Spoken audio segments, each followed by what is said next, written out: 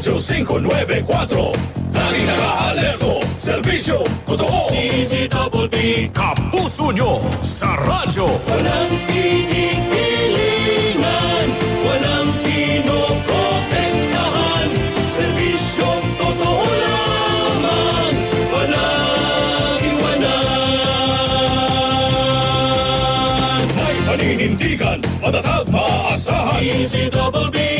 Super Radio 594. Kapusong Pilipino, lahat Super Radio. Easy Double B, Serbisyong totoo. Walang kinikilingan,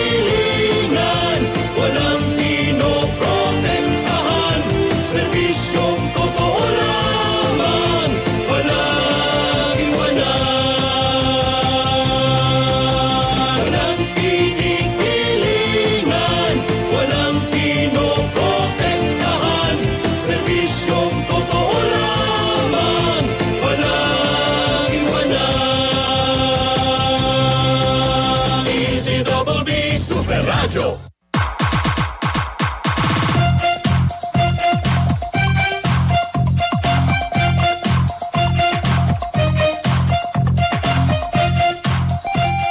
Alas 5.32 ng umaga. Kasabay ng pagsikat ng araw, hindi magpapaiwan. Unang-una sa balitaan. Buena Manong Balita.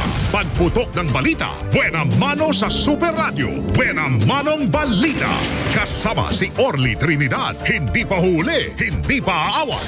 Balita ang walang iwanan. Paghimay sa isyu ng bayan na hindi matatawaran. Buena Manong Balita. Hindi ka maiiwan. Unang-una ka sa balita. Buena Manong Balita. Araw ho tayo ngayon ng Biyernes. Thanks God, it's Friday. Ang 22 sa buwan Marso taong 2024. Ako po inyong kapuso, Orly Trinidad. Dito sa palatuntunang penamanong mga balita, radyo na, TV pa, courtesy na disiplina pa. Huwag na natin patagalin. Narito po mga kapuso, mga headlines ng ating mga penamanong mga balita. Motorcycle rider sa viral video na nakitang nambutas ng gulong ng kanyang nakalitang delivery van pinagpapaliwanag ng Land Transportation Office. Pamahalang lungsod ng Quezon magsasagawa ng contact tracing sa mga posibleng nahawaan ng pertussis o whooping cough lockdown hindi ho ipatutupad. Alokasyon ng tubig sa Metro Manila ng National Water Resources Board babawasan simula sa kalagitnaan ng Abril. Guro sa pampublikong paaralan na nag-viral matapos na manermo ng mga mag-aaral habang naka-live sa TikTok, hindi papatawa ng parusa ayon yan kay Vice President at Deputy Secretary Sara Duterte. Controversial na report na nakatayo sa gitna ng na resort na nakatayo diyan po sa gitna ng Chocolate Hills sa Sagbayan sa Bohol, posibleng gibain ayon sa DENR. Eto ho, dating Negros Oriental 3rd District Representative Rodolfo Teves Jr. arestado sa Timor-Leste habang naglalaro ng golf. Buena Manong Balita. Napakaiinit ang ating mga balita, Andoy. Ang ating pong mga balita at ang uh, naman ng balita po mga kapuso inyo rin pong mapapanood sa pamagitan po ng Facebook sa ating pong uh, Super Radio DCWB 594 kHz at sa ating din pong YouTube channel. Mag-subscribe po kayo at DCBB 594 at ang ating pong DCWB Text Connect 0917-594-5941 ang ating pong TikTok at text account para po sa mga balita gusto nyo balikan at malaman po ang kompletong detalye po nito at DCBB mga kapuso. Buena Manong Balita. Pwede bang batiin ko itong mga taga-subaybay natin sa Facebook Live? Ang dami na ho kasi ho nila. Thank you po sa inyo ha. Si uh, Erminida Miranda, Ann, Ma, Ann Sanchez, si uh, Teresita Coloma, uh, Bernie Trinidad, good morning po sa inyo. At g- maging kay Kuyang uh, Marlo, Gon, Marlo Gonzales. Oh, good morning po sa inyo.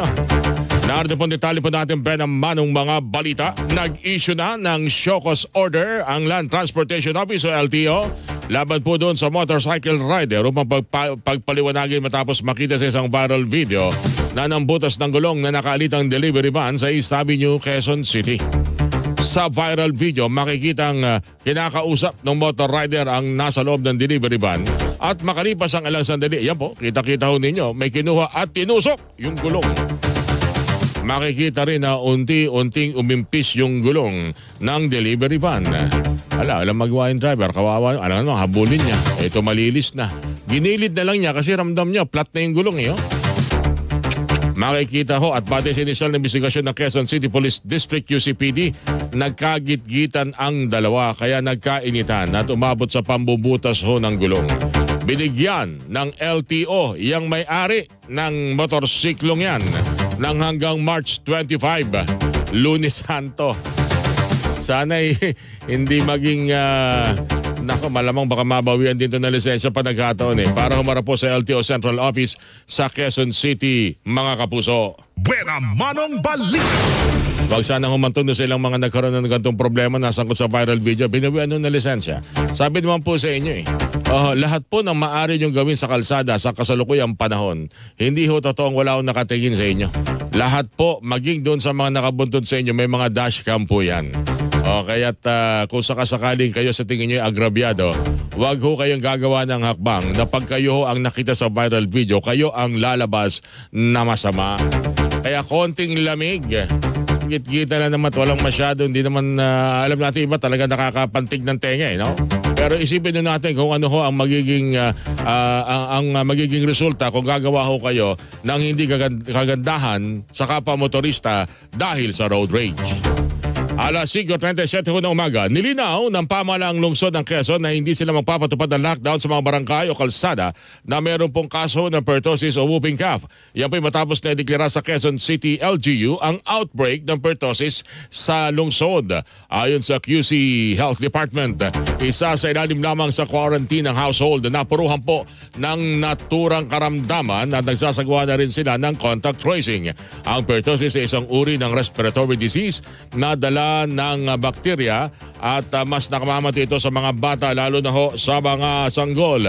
Ayon kay Undersecretary Eric Tayag, tagapagsalita po ng Department of Health na walang o mula nang pumasok ang uh, unang taon ng kasalukuyang uh, 2024 noong March 9, umabot na ho sa 453 ang naitalang kaso ng pertussis sa buong bansa kung saan 35 na ho ang nasasawi. Marami na ho pala naging casualty po ito mga kapuso. Hinimok ng DOH ang mga magulang na pabakunahan laban sa moving calf ang kanilang mga anak na libre umanong ibinibigay sa mga health center. Buena Manong Balita. 38 minuto ho makalipas ang alas 5 ng umaga. Ito, balitang tubig! Babawasan ng National Water Resources Board ang alokasyon tubig sa Metro Manila simula sa kalagitnaan ng Abril. Mula sa kasalukuyang 50 cubic meters per second, ibababa ito ng NWRB sa 48 cubic meters per second simula April 16 hanggang April 30. Ayon kay Engineer Susan Nabanyo, pinuno ng Policy and Program Division ng NWRB, kakaunti lang ho kasi ang ulan na inaasahang babaksak sa Angat Watershed. Kaya kailangan bawasan ng alokasyon dahil kung hindi ay posible magkaroon ng problema sa pag-supply ng tubig sa susunod na taon. Tiniyak naman ng Metropolitan Water Works and Sewerage System, MWSS, na water pressure lang ang mababawasan at hindi tuluyang mawawala ng supply ng tubig. Di ba parang pareho din yun? Kasi pag bininaan mong, baka mamaya ilang mga malalayo mga nasa malalayot matatas na lugar, so sobrang hina ng uh, pressure, walang umakit na tubig. Oh, partikular na ho yung mga siniservisyo naman po ng Maynila, mga kapuso. Buena Manong Balita. Ang dami kasi nagre ako ng balitang yan eh. Anong petsa ba yun? Uh, Enero ba yun o Pebrero? Una nagpa, nagbigay ho ng pagtitiyak ang MWSS, NWRB na wala ho tayong dapat alalahanin sa supply ng tubig. Meron ho tayong sapat na supply ng tubig kahit na ang El Nino po'y dumating sa ating bansa. Tapos kamukat-mukat mo, wala bang isang buwan, ito na ho balitang pumunga doon sa kanila talaga nga naman, no, pakihanap nga Zen kung anong petsa yon. Natatanda ko pa, binasa pa namin ni parang Melo sa newscast yun eh. Samantala, hindi ho paparusahan ng Department of Education na DepEd yung guro na nag-viral sa social media dahil sa panenermon sa mga mag-aral habang uh, naka-live sa TikTok. Ayon kay Vice President and Deputy Secretary Sara Duterte, nakita naman niyang paliwanag ng nasabing public school, public school teacher at ipinagutos niya sa regional office na walang parusang ipapataw laban po dyan sa teacher. Kay teacher, nagalit, stress na stress si teacher sa TikTok. Tao lang naman daw po lahat at inaabutan, inaabutan ho talaga ng galit. Oh, yung uh, bigla na lang sasabog. Hindi rin naman alam ng guro na naka-online siya sa TikTok daw mga sandaling iyon. Ito, itong, itong, itong puntong ito, medyo marami talaga. Oo naman. Paano ba uh, live ng uh, TikTok? Yan ba yung aksidente lang na na-on mo, Andoy? Yan ba yung bigla-biglaan lang na biglang, wow, naka-live na ako. Hindi ko alam mo. I'm not ready. Oh. Oh, pero yung galit niya, naunawano natin yung mga kapuso. Andoy, kung meron mang mag-aaral na nagkaroon ng anxiety sa insidente, pwede umanong bigyan ng psychosocial intervention ng mga guro. Buena Manong Balita. Siguro tapusin na rin ho natin to rito. Total, wala namang nagre-reklamo. Hindi naman, nag, uh, hindi naman apektado. Eh. Wala naman sinabi mga estudyante na sila yung nagre-reklamo, humihingi ng ustisya dahil sila pinagsalitaan ng masasama ng teacher. Mukhang wala naman ho yata. Ah, kaya siguro total eh, no casualty. Kung baka sa basketball, no harm, no foul. Si teacher pa nga napasama eh. Oh, dahil uh, unang-una ni-live niya tapos defocus eh, di ba? Tama ba direct? And then, ibig sabihin, yung, uh, yung, yung pangyayaring yon sa kanya naman talaga bumaksak yung mga mag-aaral eh, hindi naman uh, nagre-reklamo, hindi katulad iba na sinaktan, yung tulad ng isang insidente sa Cebu na sinipa yung estudyante. Ay talagang, uh, yun siguro, siguro talagang dapat uh, mag-imbestiga at patawan ng parusahan kung nararapat na patawan ng parusa. Pero yun eh, sarili naman siguro yung teacher. Talagang pil na pil nga ng ibang mga teacher. Yung, yung iba nga nung naririnig si teacher, lumuluha pa ibang mga guro eh. Nararamdaman nila hinagpis eh. Sa kabila ng kanilang pagkisakripisyo, ilang mga estudyante ho nila, parang wala pang, uh, hindi pa ho sila sila tinuturing oh, na tao. Oh, eh, minsan pumuputok ho talaga. Alas 5.42 ho ng umaga, posibleng gibain ang controversial na resort na nakatayo sa gitna ng Chocolate Hill sa Sagbayan po ito sa Bohol. Ayon kay Environment Secretary Maria Antonia Yulo Yuloy Saga, lain ito na maibalik ang dating forma po ng Borol na tinayuan ng Captain's Peak Resort. Ayan o, oh, di ba napapakinabangan yan eh. Ayan, nakikita nyo sa radyo na TV pa ay alangan mo maglagay ka ng slide sa tok-tok ng borol tapos uh, diretso dun sa swimming pool. Eh, hindi mag- pangit tingnan. Ay talaga nasa pagitan siya ng tatlong borol eh. Pero okay na, tatlong borol maglagay ka ng slide. Yeah, focus mo dyan na uh, direct yan. Eh, no? Pag, uh, sa tuktok ng borol, maglagay ka ng slide diretso sa swimming pool. Di ba? Feel? eh, hindi, pangit pa rin eh. Bukod po dyan sa viral resort na yan, sinisilip na rin ng DNR at DILG ang ilang pang resort na tinayo sa Chocolate Hills tulad po ng Sagbayan Peak. Yan, isa pa po yan. Nais naman ni DILG Secretary Ben Arabalos na magkaroon po ng moratorium o ipatigil ang pagtatayo ng mga bagong istruktura sa Chocolate Hills, mga kapuso. Buena Manong Balita. Ito ho mga kapuso, naaresto si dating Negros Oriental 3rd District Representative Arnolfo Teves Jr. sa Timor-Leste. Ayon sa Department of Justice, naaresto si Teves habang naglalaro ng golf dakong alas 4 ho ng hapon. Biruin mo nga naman. Ang dami yata kahapon pauwi na ng bahay eh, na editor ng dyaryo. Nagremat eh. Balik! Na isagawa ang pag-aresto sa pakikipagtulungan ng Interpol National Center Bureau, East Timorese Police at ilang pang mga law enforcement agency. Si Tebes ang tinuturong mastermind sa pagpatay kay Negros Oriental Governor Roel Digamo at siyam na iba pa sa Pamplona, Negros Oriental. Itong Pebrero na maglabas ng red notice ang Interpol laban kay Tebes na may arrest warrant para sa mga kasong murder, attempted murder at frustrated murder Naharap din siya sa kasong paglabag sa Comprehensive Firearms and Ammunition Regulations Act mga kapuso. At kaya na po ang uh, update po ng uh, GMA uh, Integrated News at Super Radio DCW dyan po sa balitang yan dahil meron po tayong mga follow-up na ginagawa sa mga oras pong ito. Lalo-talo na ho doon sa kung ano ho ang sitwasyon ni dating uh, Congressman Adolfo Tevez makarang maaresto po dyan sa Timor-Leste o East Timor. Mga ano, Moral of the story. Pag ikaw wanted, Jolen ka lang muna. Huwag ka muna mag-golf. Kita-kita kayo. Hall number one pa lang. Nasa team out ka pa lang. Ang dami, ang dami, ang lapit lapit mo sa clubhouse. Kitang-kita ka doon. O di ba yun yung wanted? Ako. Babalik ko tayo mga kapuso sa mga nagbabagad mga mainit na mga balita sa Buena Mano mga balita. Ating pong oras, labing limang minuto makali, bago ho mag alas 6 na umaga. Buena Manong Balita.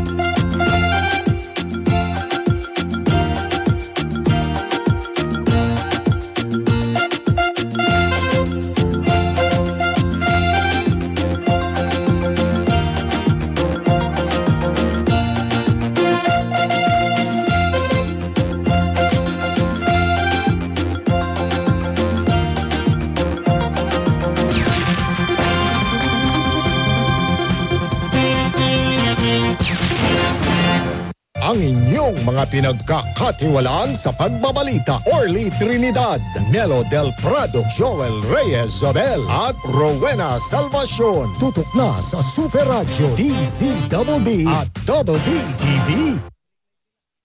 Seize the day, Food Explorers! Gamit ang masaganang ani ng kale ng Fresh Ka Farm, lutuan ko kayo ng masarap na sopas. Meron din tayong pato na pinalambot ng matagal. Tapos, pipira-pirasohin natin para gawing spring roll. Ang coffee destination natin today, Ape Segundo ng kinagiliwan ni Queendom Diva Jessica Villarubin. Uwi ko na to ha. Authentic Spanish dishes naman ang dadayuhin natin sa Alba kasama sina Xavier Ramos at Pipay. Delicioso. Farm to Table, Sunday 7:15 p.m. on GTV. すごい。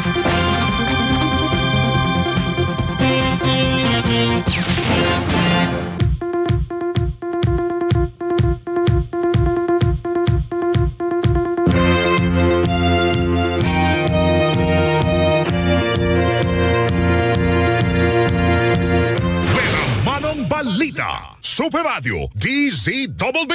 Bantay. Biyahe. Alamin nga ho muna natin ang nagay ng mga lansangan sa oras na ito, 5.47 po ng umaga. Aba, ilang linya ng EDSA northbound sa Caloocan City sarado dahil sa bumulwak na putik.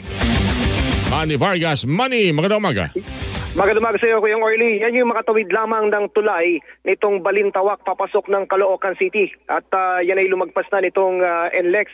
Ah, ito ay dahil sa merong bumulwak na na sangkaterba at makapal na putik eh, na habang nagsasagawa naman ng ah, proyekto ang isang pribadong contractor na sinasabi nung nakausap natin na, na naglalagay ng mga kable na sinasabing internet sa ilalim ng kalsada.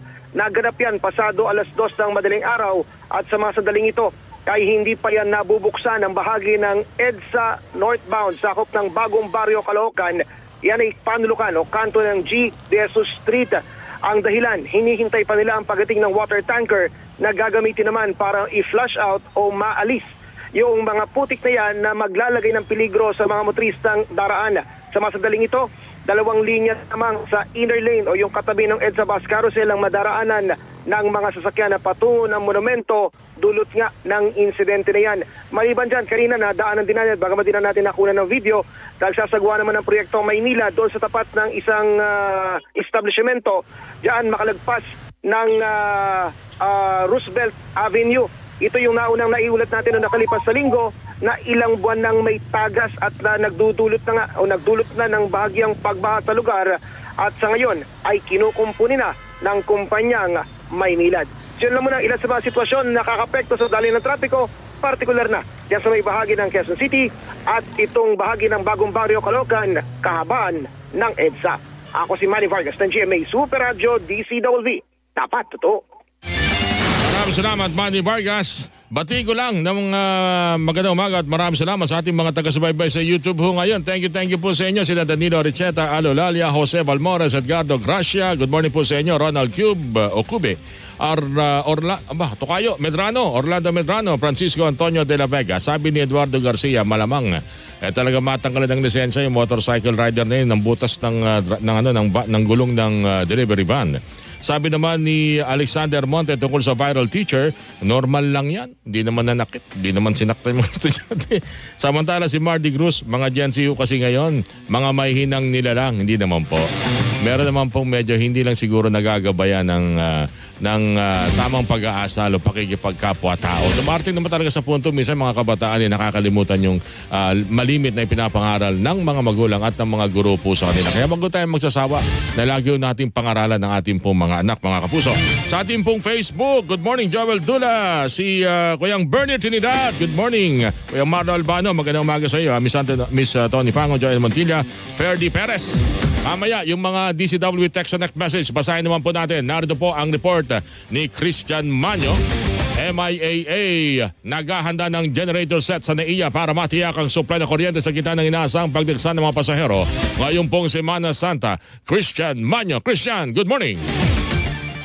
Tuloy-tuloy ang ginagawang paghahanda ng pamunuan ng Ninoy Aquino International Airport para sa inaasahang pagdagsa ng mga bibiyahing pasahero sa paliparan ngayong Holy Week o Semana Santa na aabot ng higit lusang milyon mula Marso 24 hanggang 31. Kaugnay nito ay naglagay na ng standby generator sets ang Manila International Airport Authority sa NAIA para matiyak ang tuloy-tuloy na supply ng kuryente kabilang ng MIAA Admin Building, Passenger Terminal 1 hanggang 4 at ang International Cargo Terminal habang tiniyak din ng MIAA ang sapat na bilang ng tauhan kabilang na ang maayos na kondisyon ng mga pasilidad para matiyak na magiging maayos ang biyahe ng mga pasahero ngayong Semana Santa. Para ngayon pa lang yata, Christian, dagsana kasi kahapon, napansin ko dun sa Mm-hmm. mga viral video, lalo na sa Facebook, Okay, Mahaba may, may, may mga may, may airco, malamig. Ang problema yung na, sa immigration. Mukhang Tama ka dyan mukhang na, ah, baka pwedeng ano? ipanawagan natin ngayong maaga pa lamang sa ating mga opisyal. Ang Masisipag naman yung mga taga-immigration lamang. Talagang pag sobrang dami ng dumarating, eh siguro kinakailangan din ng adjustment ng mga tauhan. Gawan ng paraan na Mahaba mapabilis. Oo. Nakita ko, nakita ko parang ano, sabi ko, ah, ah, grabe, parang pila sa sa loob ng simbahan pag ano, ah, pag ah, bisita iglesia. Ang dami, ang haba. Oo, pero bukod dyan, Orly, wala ka pa, man din sa paliparan, eh medyo mabigat din ang daloy ng trapiko. Papalapit pa lamang dyan sa Ninoy Aquino International Airport. Yan muna yung latest mula dito sa PITX ah, sa, sa Manila International Airport Authority. Ako, si Christian Manio ng GMA Super Radio DCWB dapat totoo. Super Radio DZBB Bantay Biyahe Buena Manong Balita Maraming salamat, Christian Manyo. Yan, ah, bantayan nun siguro natin yung mapapunta ng airport, pati pa nasa loob ng airport. Trabiri nyo. Katakot-takot na traffic ang daraanan ha, kung hindi ho talaga paghahandaan. Traffic papunta doon sa airport. Pagdating mo ng airport, traffic papasok. Traffic doon sa ah, yung ano, kung saan man kayo mag-board o pipila, mag-check-in. Tapos, pag, pagdating ng immigration, pila pa rin.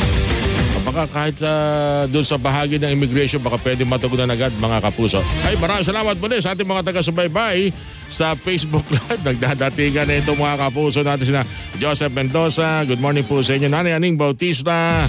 uh, Ricardo Policarpo Diaz. Good morning din po sa inyo. Maraming salamat kina Ronnie Bo. Ito, basahin ko lang ito sa ating DCWB text on Beksing Magsila. Sabi ni 1093, baka naman pagdating dito ni Tebes, hindi na siya gulong. Hindi ho. Oo, nasa DOJ po yung kaso po nito. Eh. Ah, ah, inaabangan ko kayo sa Suma Puso mamaya. Sasabak din ba kayo sa acting? Inaabangan ko si Melo Del Prado. Good morning po, Tutu. 2095. Salamat po sa inyo. At maraming salamat din sa message ni 0602, mga kapuso. Bantay Panahon! Eto, kaya Marlo Albano, gusto mo malaman ang lagay ng panahon. Alamin natin mula kay Obed Padrina po ng pag-asa ang sitwasyon ng ating pong panahon ngayon pong biyernes. Obed Padrina ng pag-asa. Obed, magandang umaga. Magandang umaga po, magandang umaga sa lahat ng mga tagapakinig natin, tagapanood. No? Narito na ang lagay ng ating panahon. Sa ngayon, wala tayong bagyo na inaasahan. Wala tayong minomonitor na low pressure area. Posible ho hanggang next week. Maliit yung chance na magkaroon tayo ng bagyo. Samantala, ang northeast monsoon na amihan ay nakikita natin na patuloy ang paghina. Posible nga ho sa araw na ito o sa ah, ngayong weekend ay tuluyan ng matapos itong panahon ng amihan. Kaya tumutok po ang mga kababayan natin sa magiging update ng pag-asa para sa araw na ito. Samantala, ang amihan ay ah, nakakaapekto na lamang sa bahagi ng Batanes at magdadala ng mahihinang pag-ulan. Malaki naman yung tsansa ng maulap na kalangitan na may mga pag-ulan sa Caraga, Davao Oriental at Davao de Oro dulot ng easterly so hangin nagmumula sa Karagatan Pasipiko.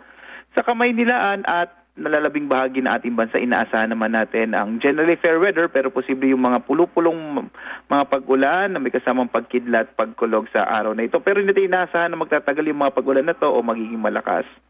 Ang ah, wala naman po tayo nakataas na gale warning, nag, na, naglabas na tayo ng final na gale warning kaya ligtas ang pumalaw at ang mga sakyang pandagat at malilit ang mga bangka sa mga baybayin ng ating bansa. Ngayong araw naman, ang agwat ng temperatura sa Kamaynilaan nasa 22 to 32 to 30 degrees Celsius. Sa mga kababayan sa Cebu, nasa 26 to 31 degrees Celsius, habang sa Davao, 25 to 33 degrees Celsius. At yan po Sir Orly, ating inaasang magiging lagay ng panahon sa araw na ito mula sa pag-asa. Weather Forecasting Center, Obet Badrina, magandang umaga. Maraming salamat, Obed Badrina ng Pag-asa. Bantay Panahon! Apat na minuto bago mag alas 6 na umaga, mga pahabol ho natin mga balita mga kapuso. Nagdesisyon ang Movie and Television Review and Classification Board, MTRCB, na ipagpawal yung pagpapalabas sa bansa ng pelikulang Chasing Tuna in the Ocean.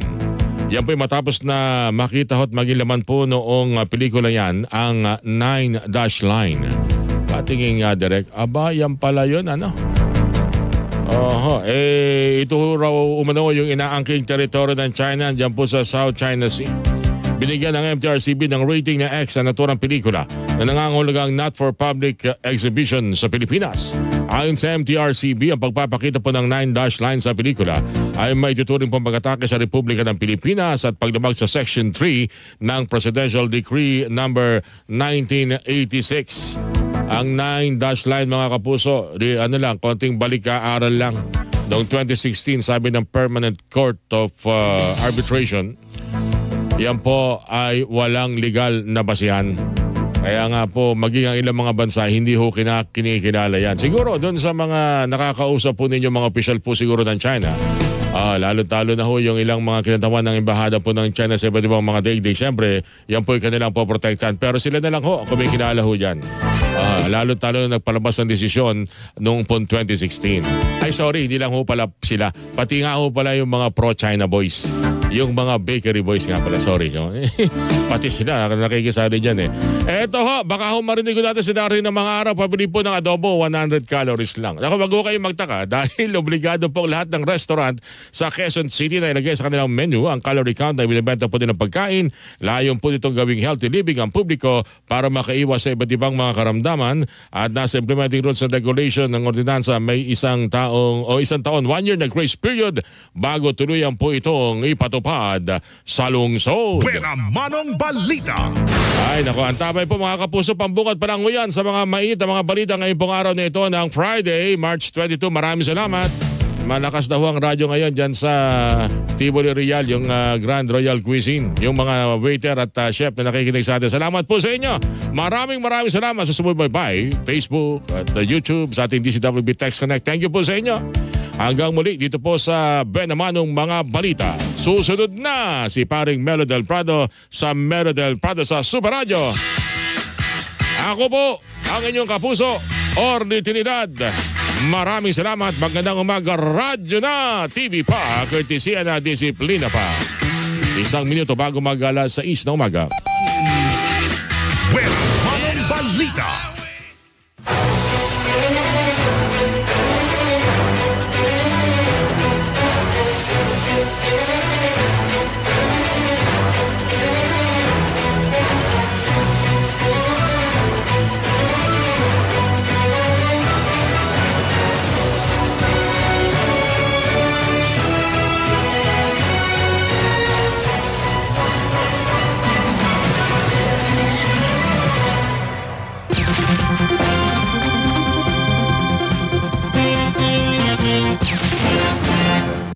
Super Radio stations nationwide sinisigurado ang mabilis na paghatid ng headlines, breaking news at mga special coverage sa ating mga kababayan. Ito ang GMA Integrated News, ang news authority ng Filipino.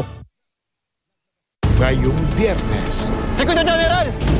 Sinimulan ko tong laban na to para sa pamilya ko. Pero ngayon kailangan ko nang tapusin to para sa lahat ng taong nabiktima at mabibiktima pa ng kasama ni Edgardo. Black Rider, 9.40pm sa GTV. Lahat ba tayo may kalayaang umibig? Lalo na kung ito ay sa pagitan ng isang lalaki at transgender. Ano ba talagang pangarap mo? Hindi ano, sino. Mahal mo ba talaga tong kapatid ko? Higit pa ako sa buhay ko. Freedom to love. You're watching Double B TV on GTV.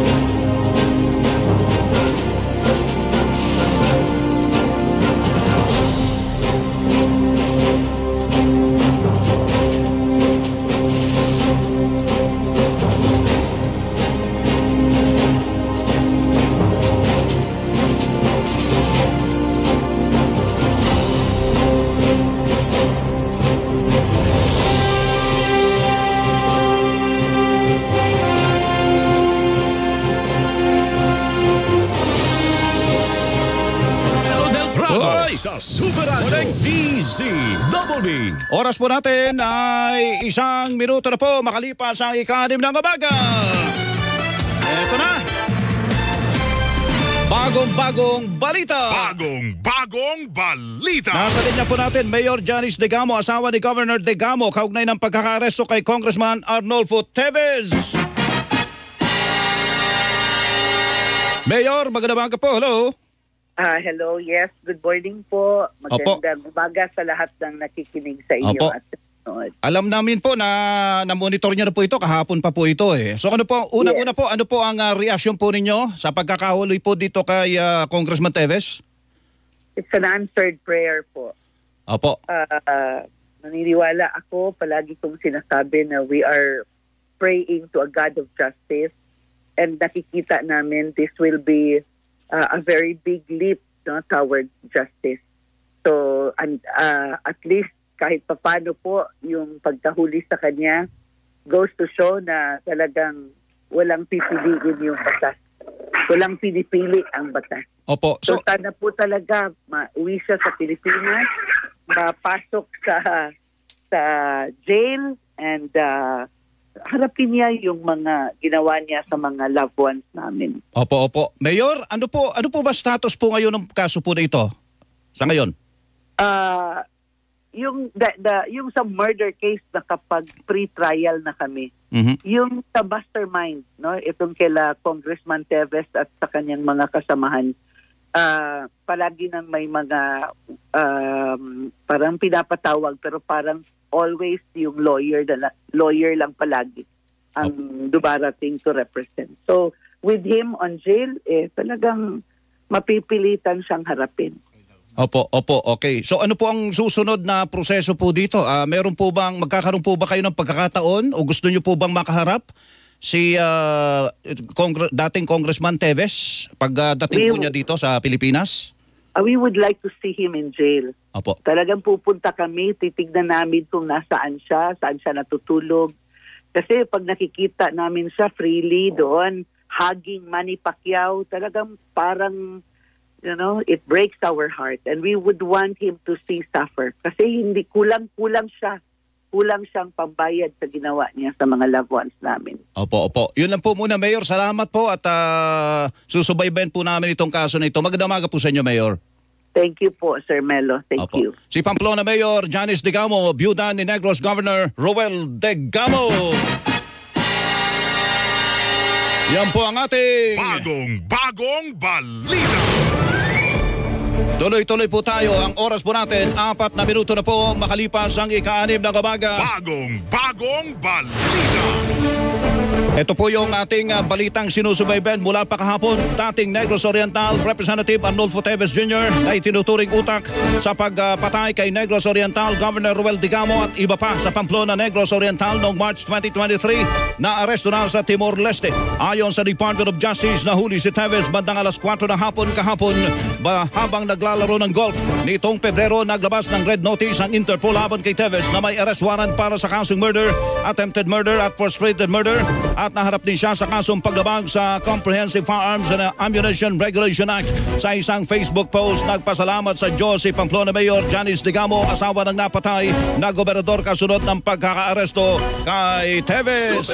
Oras natin, limang minuto na po makalipas sa ika-anim ng umaga. Bagong bagong balita. Alokasyon ng tubig sa Metro Manila mula sa Angat Dam babawasan na ng National Water Resources Board o NWRB simula sa ikalabing anim hanggang sa ikatatlumpu ng Abril. Ayon sa NWRB mula sa 50 cubic meters per second ay ibababa na sa 48 cubic meters per second ang alokasyon ng tubig. Sinabi ni Engineer Susan Abanyo ng Chief Policy and Program Division ng NWRB na inaabatan nila na umano sa 180 meters o mas mababa pa ang antas ng tubig sa Angat Dam na hanggang kahapon ay nasa 200.70 meters. Kapag nangyari ito ay maaari itong humantong sa water deficit at makaapekto lalo sa alokasyon ng tubig sa mga bahay sa Metro Manila at sa mga irigasyon. Anim na minuto na po at 32 segundo makalipas ang ika-anim ng umaga. Bagong bagong balita. Kaso ng uh, pertussis o whooping cough o tuspirina sa bansa lumobo. Ayon kay Undersecretary Eric Tayag, tagapagsalita ng Department of Felt, umakyat sa 453 ang kaso ng pertussis sa bansa sa unang sampung linggo ng 2024 na mas mataas sa 23 na kaso ng 2023 sa naturang bilang 35 namatay. Ang pertussis ay isang mabilis makahawa na bacterial respiratory infection na nagdudulot ng influenza-like symptoms tulad ng mababang lagnat, sipon o colds at mga pagubo sa loob ng 7 hanggang 10 araw matapos mahawa. Pitong minuto na po makalipas ang ika-anim ng umaga. Bagong, bagong balita. Pamahalaang lungsod ng Quezon nagdeklara na ng outbreak ng pertussis o whooping cough na respiratory disease na delikado sa mga bata lalo na sa mga sanggol. Ayon kay Quezon City Mayor Joy Belmonte, 23 kaso na ng pertussis ang naitala sa limang distrito ng lungsod. Ang apat sa mga ito'y namatay na pawang mga sanggol.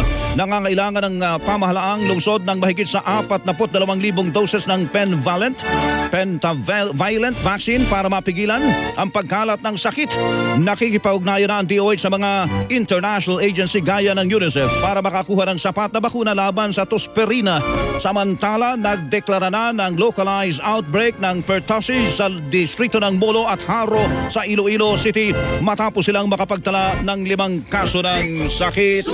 Walong minuto na po makalipas ang ikanim na kabaga. Bagong, bagong balita. Mga kaso ng tignas at trubela tumaas sa lahat ng reyon sa bansa maliban sa Bicol at Central Visayas. Ayon sa Department of Health, umabot na sa 569 ang kaso ng tignas at trubela hanggang nitong Pebrero 24. Nakapagtala din ang World Health Organization ang pagtaas sa mga kaso ng natura mga sakit na naglalagay sa kalahati ng mundo sa matinding panganib.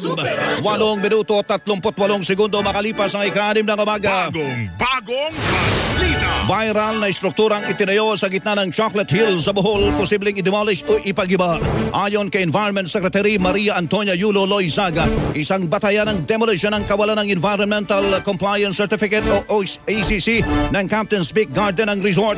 Sinisilip na rin ng DNR at Department of the Interior and Local Government ang iba pang resort na itinayo sa Chocolate Hills gaya ng Sagbayan Peak. Nais na Interior and Local uh, Government Secretary Ben Harabalos na ipatigil ang pagtatayo ng mga bagong struktura habang sinisilip kung sumunod sa batas sa mga resort at pasilidad sa lahat ng protected areas. Oras natin, siyam na minuto na po makalipas ang ika-anim na kabaga. Bagong, bagong balita. Department of the Interior and Local Government o DILG, mayroon ng inisyal na listahan ng mga posibleng kasuhan kasunod ng pagpapatayo ng isang resort sa gitna ng Chocolate Hill sa Bohol. Kinumpirma rin ni DILG Secretary Ben Arabalos na isang barangay chairman lamang na nagsilbing chairperson ng Protected Area Management Board ang nag-aproba para maipatayo ang resort at wala ang chairman mula sa DNR sa mga pagdinig. Kasamaan niya sa organizational structure ng PAMB ang isang pinuno mula sa DNR, isang gobernador, tatlong kinatawan ng distrito, 65 barangay captain at iba pang kinatawan mula sa iba't ibang ahensya.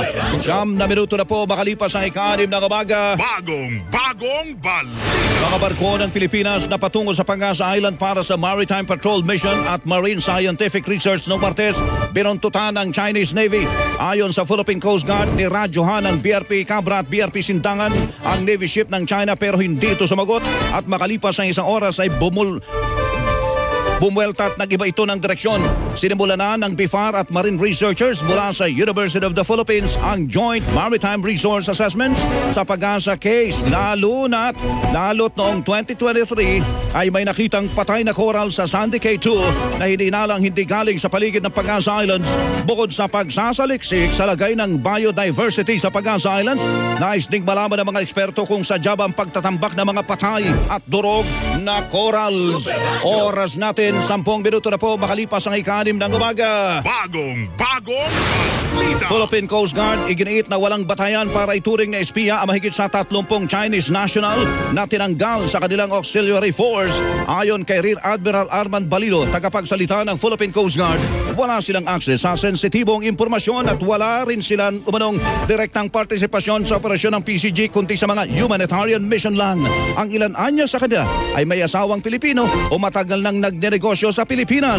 Ang ranggong iginawad sa kanila noon ay honorary o pagkilala lang sa kanilang ambag at dumaan sila sa proseso bago tanggapin ng PCG tulad ng pagkuha ng clearance mula sa immigration, PNP at NBI pero tinanggal sila dahil walang national security clearance.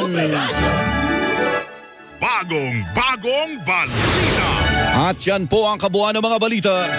Ako po naman ang inyong lingkod. Wow! Si Melo del Prado? Panalo! Naka-code blue po mga kapuso ang DOH kaugnay ng uh, pertosis o woofing cough. Anong klasing ubo ba ito? Anong pagkakaiba nito sa pangkaraniwang ubo? Mga kapuso, bakit ito nakamamatay? Sa Quezon City nakatutok dahil sa meron na pong deklarasyon na may outbreak na po sa lungsod ng Quezon si Alan Gatos. Si Mark Makalalad ay nakatutok naman yan po sa Paliparan. Paliparan tuloy. Terminal sa Marikina. Gusto nyo lumipad? O, wag naman. Bus yan. Wag paliparin ang bus. Mark Makalalad, bantay biyahe po tayo mga kapuso ngayon. Ah, Christian Manyo, standby din. Bantay biyahe din tayo ha. Sa PITX. Manny Vargas, may sunog na naman. Sa Tondo, Manila. Standby lang. Ang oras po natin, alas 6.12 na po ng umaga. Radyo na, TV pa, Melo pa. Melo del Prado sa Super Radio DC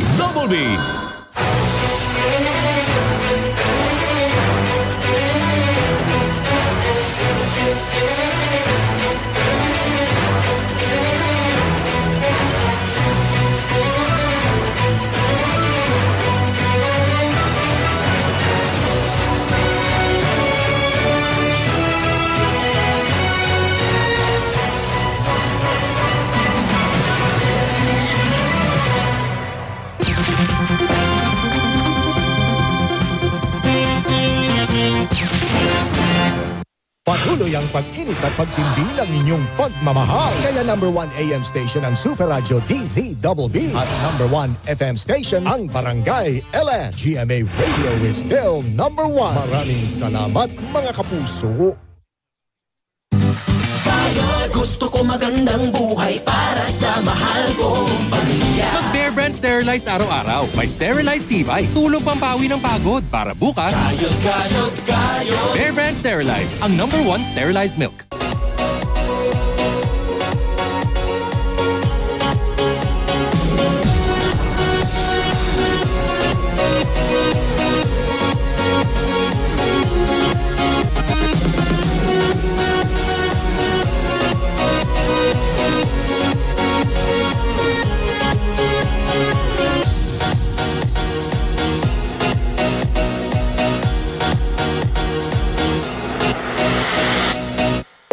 Tayo may kalayaang umibig? Lalo na kung ito ay sa pagitan ng isang lalaki at transgender. Ano ba talagang pangarap mo? Hindi ano, sino. Mahal mo ba talaga tong kapatid ko? Higit pa ako sa buhay ko. Freedom to love.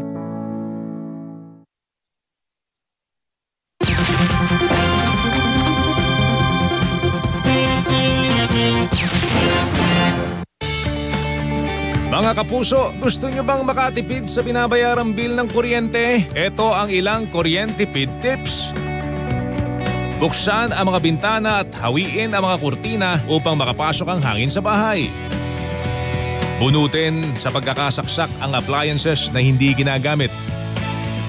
Huwag iwanang nakabukas ang ilaw na hindi ginagamit.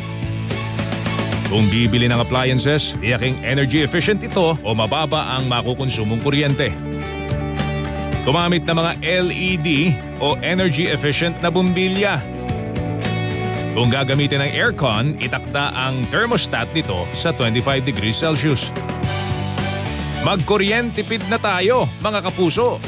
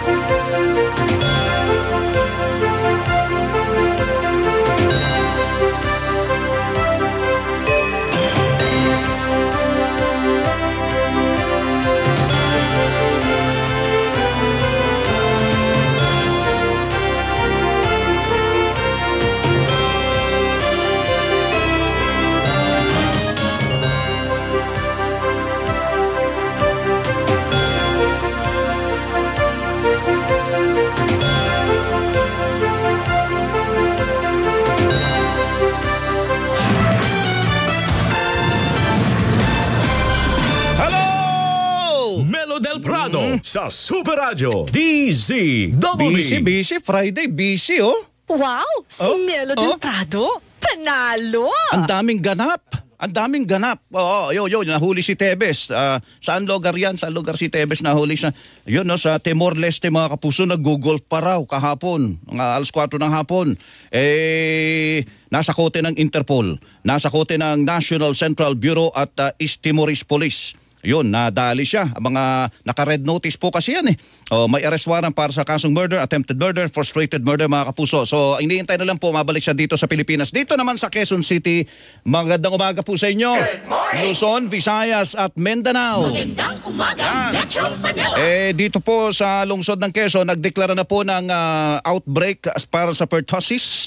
Uh, pertussis, ito po isang klase ng ubo. I- ito yata yung ubong, ano, yung parang ubong dalahirit kung tawagin natin. Yung sobra, yung dry cup, hindi ko alam mamaya, ha, malalaman po natin sa isang eksperto ko anong klaseng pagkakaiba po nito doon sa iba pang klase po ng mga ubot. Ba't ito'y nakakamatay? At may mga namatay na bata na po. Alam nyo ba ang namatay tungkol po dito sa um, pertussis na ito? 35 na nationwide, apat po sa lungsod ng Quezon. Yan. So, sana samantalahin yung mga pagpapabakuna sapagkat ito daw ay sabi ng DOH ay preventable disease naman daw Super ito. Radio Melo mga. Prado sa Pero- Super Radio DZWB. Tunghayan po natin Undersecretary Eric Tayag, DOH. pinakamarami dito sa National Capital Region, sinusundan ng Region 4A, Calabarzon, at ang pumapangatlo po sa dami ng kaso po ay dyan sa Central Visayas sa Region 7. At sa bilang na yan, hindi biro-biro ha, 35 na yung namatay. Isa ito sa mga vaccine preventable diseases. So kung hindi bakunado yung baby, ah malamang sa hindi, maaari siyang mahawa at ah, magkakaroon nga ng tuspirina. Super Radio Melo Del Prado sa Super Radio DZWB. Ang tinig po ni Undersecretary ng Department of Health, Eric Tayag. Meron tinatawag na combo vaccine. Magkakasama DPT, diphtheria, pertussis, tetanus, may hepa pa, o di ba, bakuna tungkol sa hepa, may rubella pa. Ayan, ang gagawin lang po ng mga nanay. Mga nanay, kayo na naman, di kayo pumapayag sa pwede na. Kaya pumunta na kayo doon sa mga bakunahan, sa mga klinika. Meron pa sa mga mall yan, continuing daw po yung vaccination, immunization na yan eh. Teka muna, sa Quezon City tayo. Sa Iloilo pala, meron na ring localized outbreak po na dineklara doon tungkol sa pertussis. Sa Quezon City, balik tayo.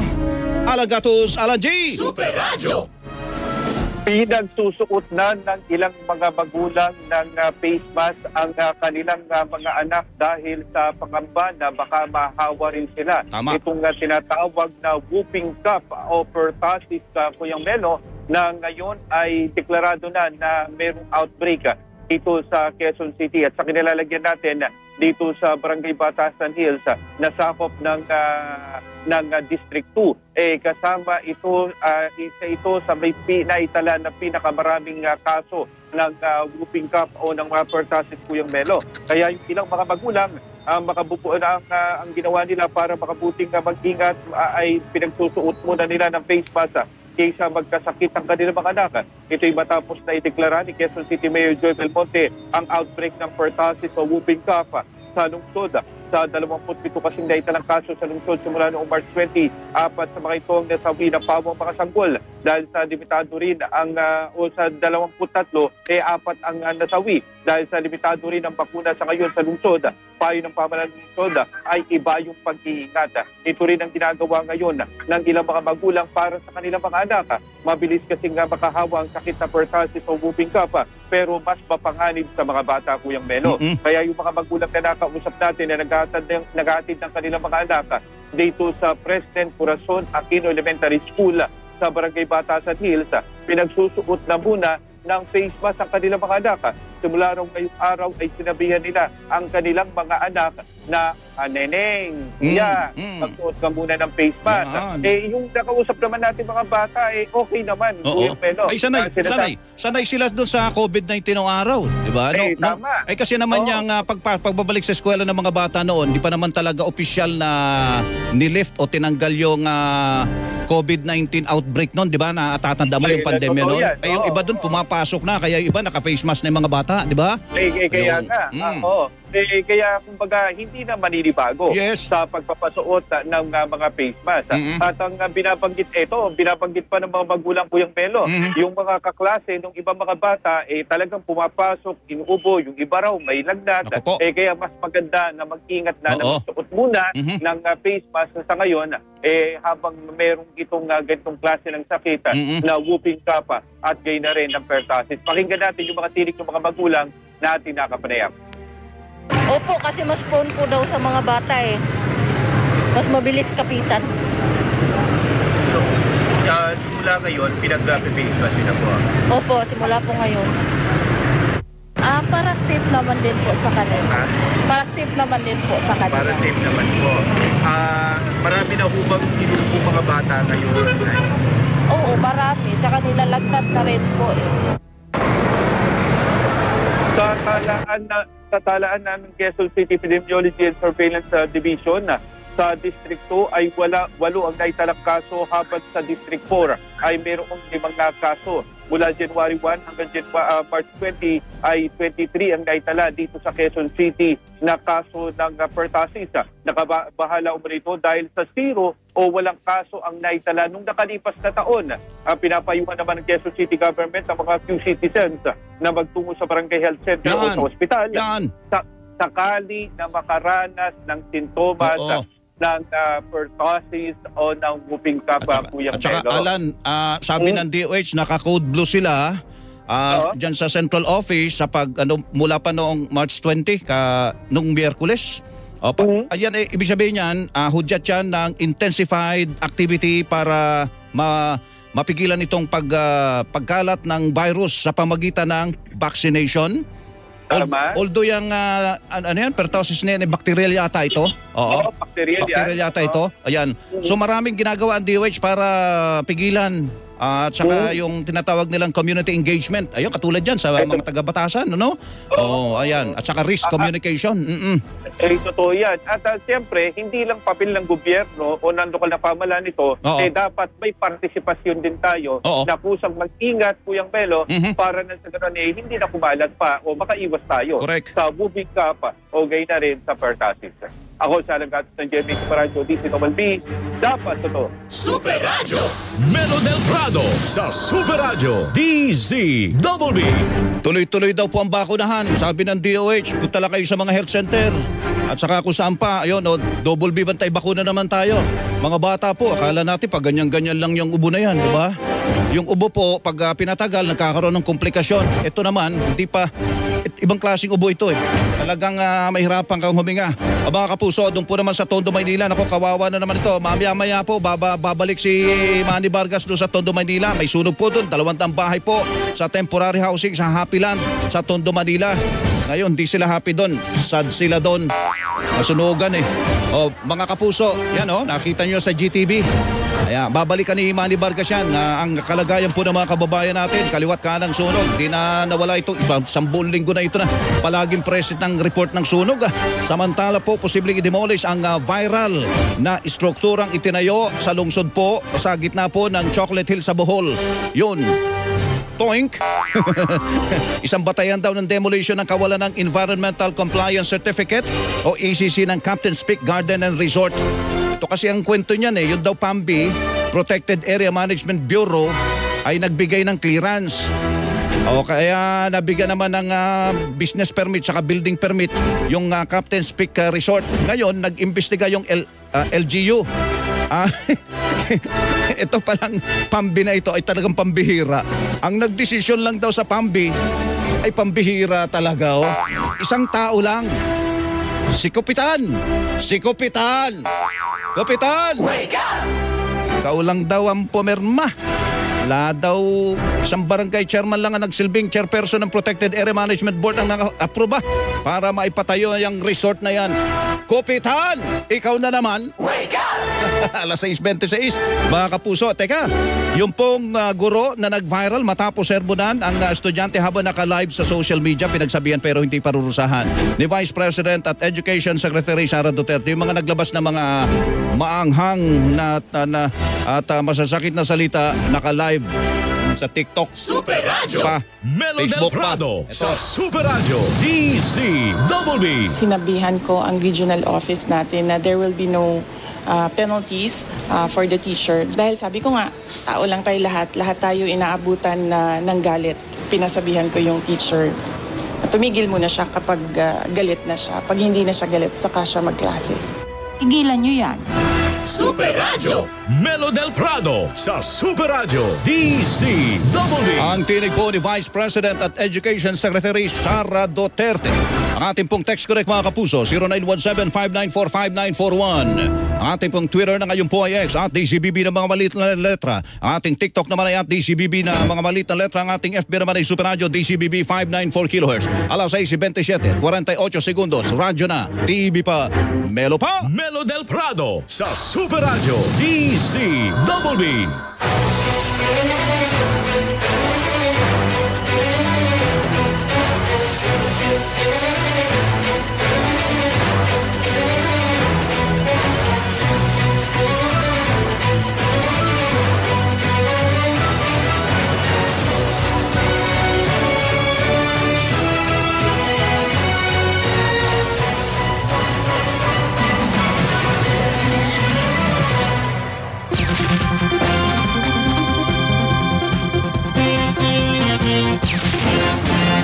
Pagbabalitang walang kinikilingan, walang pinoprotektahan, walang kasinungalingan, serbisyong totoo lamang. Super Radio DZBB. Hindi pa huli, hindi pa titinag. Super Radio DZBB. Saturday Prime Time. Alas 5.30 ng umaga, Double Wang sa Double B. Alas 6.30 ng umaga, Super Balita sa umaga, Nationwide. Alas 7.30 ng umaga, Pinoy MD sa Super Radio DZBB. Alas 8.30 ng umaga, Consumer at iba pa ng Department of Trade and Industry. Pagbabalitang walang kinigiligan, walang pinoprotektahan, walang kasinungalingan, serbisyong totoo lamang. Super Radio DZBB. Saturday Prime Time.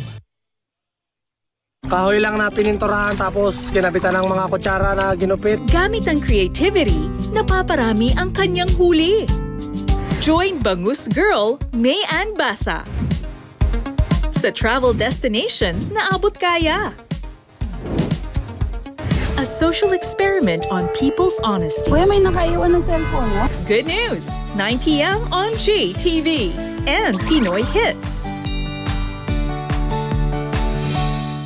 Lock Rider, tasan ka no? Isa-isa kaming inubos sa palangga. Ikaw na lang talaga natitirang pag-asa para matigil ang lahat ng kasamaang ito. Dito ka lang delikado! Sandali lang! Saan kayo pupunta? Black 9.40pm sa GTV. Her story will be made. New heroes will rise. NCAA Season 99 Women's Volleyball. This April on GTV. You're watching Double B TV on GTV.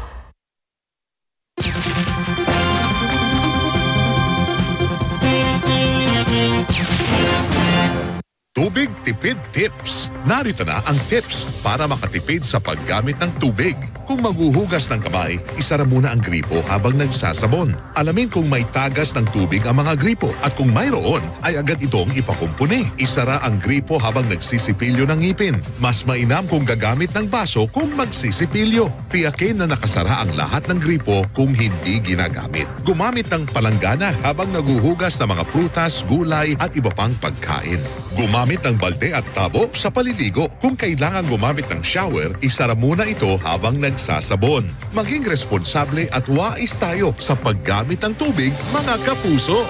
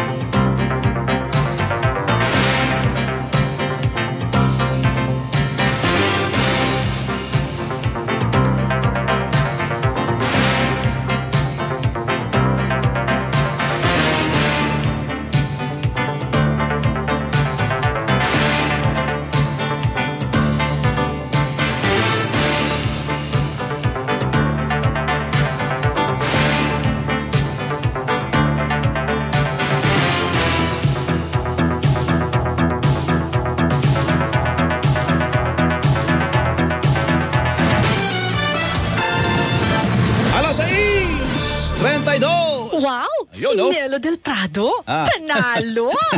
Yung iba kasi, ang ah, mahal na araw po, ah, mahal na, tama, Holy Week ay next week pa naman. O, linggo, ah, ano yun, linggo ng palaspasyon, weng salbasyon. O yung hudyat na yun, ano? Ah, Linggo ng palaspas, ano? Yung iba naman ngayon, gusto na umuwi.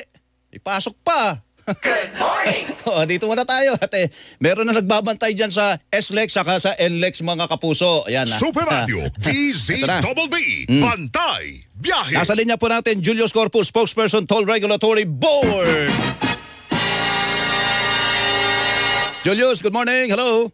Good morning po, Sir Melo, at sa lahat ng ating tagapanood at tagapakinig sa inyong programa sa DCWBGMA. Oh. Magandang umaga po. Kumusta ang ano? ah, Doon muna tayo sa South Luzon Expressway. Kumusta ngayon ang sitwasyon natin dyan, Julius? At ah, usual traffic ah, morning po, ang tra- morning traffic po tayo, Sir Melo. Sa ngayon, maganda pa naman po ang dali ng trapiko. Wala pa naman pong pagbigat na nararanasan. Subalit mamayang konti, bibigan na po yan, which is the usual peak morning traffic. Ah, usually po nagsisimula yan 6.30 in the morning hanggang mga alas 8 at alas 8.30 at papasok po sa mga kanilang trabaho ang ating mga ka- motorista ang patungo ng Sabi mo, Julius, yun yung pangkaraniwan lang. Ano, yan, yung pagbigat na yan, kung dyan sa South Luzon Expressway, yung papasok lang dito sa may Makati yan, papasok na Metro Manila yan, di ba?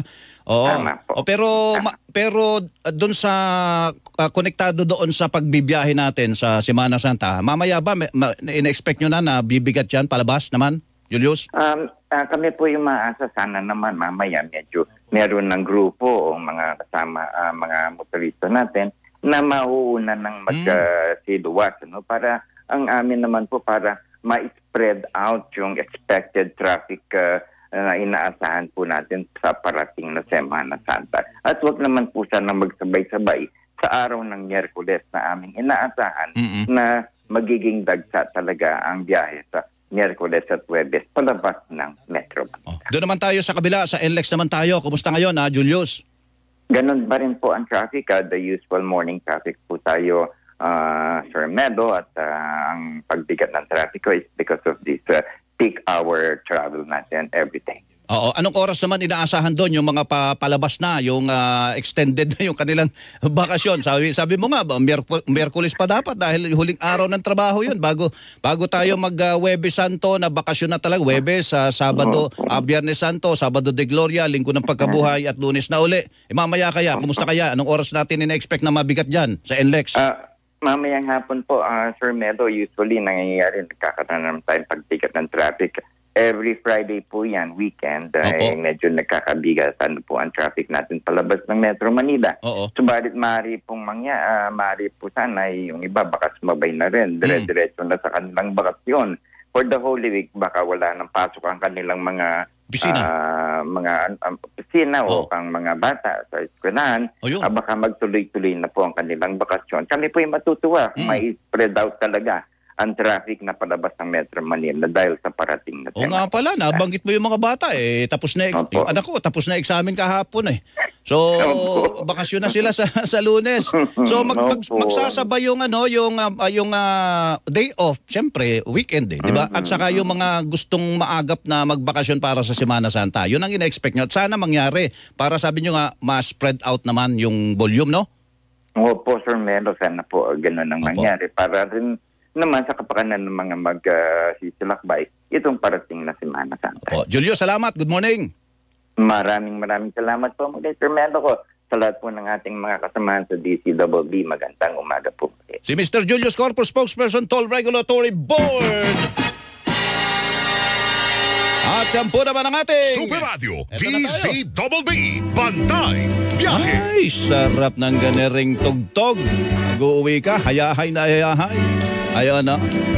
Doon ka sa non-aircon ha, non-aircon na bus. Sa mo nang maluwag na maluwag yung bintana, tapos sa pinapadpad yung buhok mong ganyan, direct.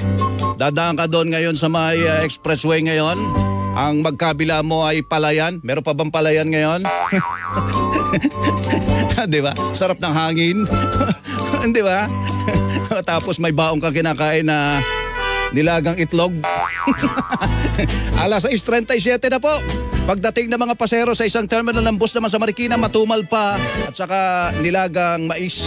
Mark Makalalad, Mark, good morning. Super Radio. Ano ba sa iyo, Kuya Mel, sa mga puso natin, madalang pa ang dating ng mga pasahero dito sa BFTK Terminal sa lungsod ng Marikina. Mula kaninang madaling araw hanggang ngayong umaga, kakaunti lang yung mga pasahero na pumupunta dito at may schedule sa kanilang mga biyahe. Ayon sa pamulaan ng terminal, inaasahan nila na bukas pa magsisimula ang dating ng mga pasahero dito. Dire-diretso ngayon hanggang Miyerkules Santo. May pasok kasi ang karamihan ngayong biyernes kaya matumal pa ang biyahe. Ang nabatid na dito sa terminal sa Marikina ang mga sakayan ng mga taga-Eastern Metro Manila para sa mga biyaheng Iloilo, Aklan at pati na rin sa Mindoro. Dahil naman sa kaunting mga pasero, wala rin ganong kita mga taxi driver na nag-aabang sa terminal. Gayun din ang mga tindahan sa loob ng terminal. Samantala, may ilang mga biyahe naman dito kaya nabawasan din yung mga pasero ay nalipat naman sa PITX yung mga biyahe ng mga bus. Kaya limitado na lamang din yung biyahe ng mga bus dito sa terminal sa lungsod ng Marikina. Pakinggan natin yung tinig ng isa sa mga dispatcher na ating nakapanayam kanina. Matumal pa po sa ngayon, saka bukas pa po, o, linggo. Linggo pa ang dating ng pasahero. Sa ngayon kasi, wala pa masyadong nakabook. Oo, wala pa nakabook. Wala pa po. Oo. Ng ating nakapanayam. Maluwag pa oh, ma wala, wala, pa? wala, wala naman yung mga bench. Ayun, Ah, kakaunti lang. eh, mabibilang mo sa daliri. Mga nasa sampu lang kanina, yung mga naabutan ko. Oo. At ah, inaasahan naman daw nila na madaragdagan yan. Mm. Mga bukas pa talaga yung Melo kasi may pasok pa daw Oo ngayon nga. eh. Mga- Oo, yung- yung- masad, yung mga- pa umaga para umuwi. Yung mga bus ba dyan, saan ba ang biyahe niyan, Mark? Oo. Ah, yung biyahe dito, Aklan, Iloilo, tsaka Mindoro, Kuyang Melo. Oh, Mindoro Dati mas marami yung, Oo. Mi- Mindoro dati lang. mas marami yung biyahe. Tama. Mm-mm, ngayon. Kaso nalipat yung iba sa PITX. Kasi Ay, oo Kuyang nga. Melo. Nasa PITX. na- Maya-maya si Christian Manyo nando sa PITX naman mamaya. Ayan. Ah. Okay, doon yung iba, mga naglipatan kahit doon sa Araneta, may ibang mga bus eh, nalipat na yung mga biyahe pa Quezon City dyan sa Correct, PATX. correct. So kaya may ibang mga terminal na apektado, kaya nabawasan din yung kanilang mga bus na biyahe. Ang inyong kapuso, Mark Makalalad ng GMA Super Radio DCWB, dapat totoo. Super Radio. Melo del Prado sa Super Radio. DZBB. Salamat Mark Makalalad. Ang oras po natin sa buong Pilipinas. Standby na si Manny Vargas din mamaya at saka si uh, Chris- Christian Manyo. Maya-maya po meron tayong mga kausap pagpapaliwanag. Ano ba itong uh, pertussis na ito? Ah, ano paano ba malalaman kung ang ah, tumama sa pertussis pala nakakamatay pala yan, woofing cough pala. Ano ba yun yung cough na talagang halos mamatay ka na sa pertussis? Pertussis. Ah, mm, pertussis. Wow! Si Melo Del Prado? Panalo! Alas 6.40 na po ng umaga. Melo del Prado sa Super Radio. DZBB.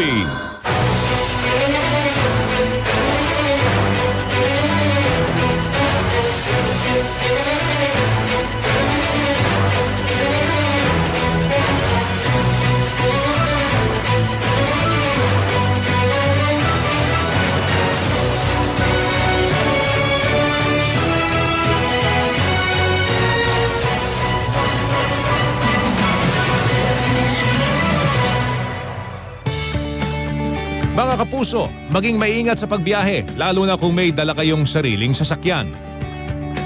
Para safe ang pagmamaneho, i-check muna ang inyong sasakyan bago bumiyahe. Para masusi ang pag-check sa inyong sasakyan, gawing gabay ang acronym na Blow Baggets.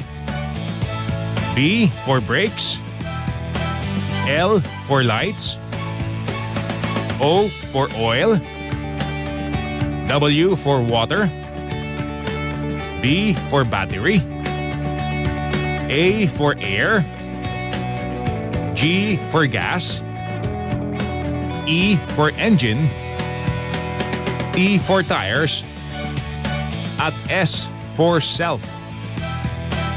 Ingat sa pagbiyahe at pagmamaneho, mga kapuso.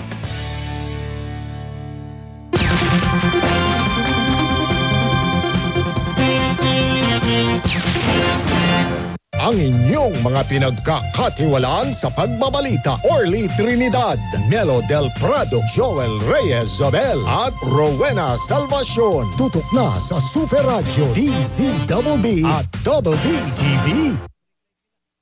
Ating tikman ang iba't ibang ginataan mula sa Luzon, Visayas at Mindanao. Nalipay kimaslisod po lahi kakulor. Kilalanin ang batang hulog daw ng langit sa lapas, Agusan del Sur. Kapuso mo, Jessica Soho. Asawa mo asawa ko? Hindi ka naman niya naaalala pag binibigay niya yung sarili niya sa akin. Mula kasi nang dumating yung babaeng yan dito, wala nang ibang nangyari kundi gulo. Naniwala mo ko na wala kang ginawa doon kundi magdasal. Sarap ang karin pala! Asawa ng asawa ko. Listen to the sound of love. Beautiful by Plume. Now streaming on iTunes, Spotify, Apple Music, YouTube Music, and other digital stores worldwide. Released by Alt G Records. Alam mo ba pinaghirapan ko yung mga pechay ko? Bayaran mo. From enemies to lovers na bato, James and Pat and Dave. Ito ang usok. Apo? Saturday, 3.30pm on GTV.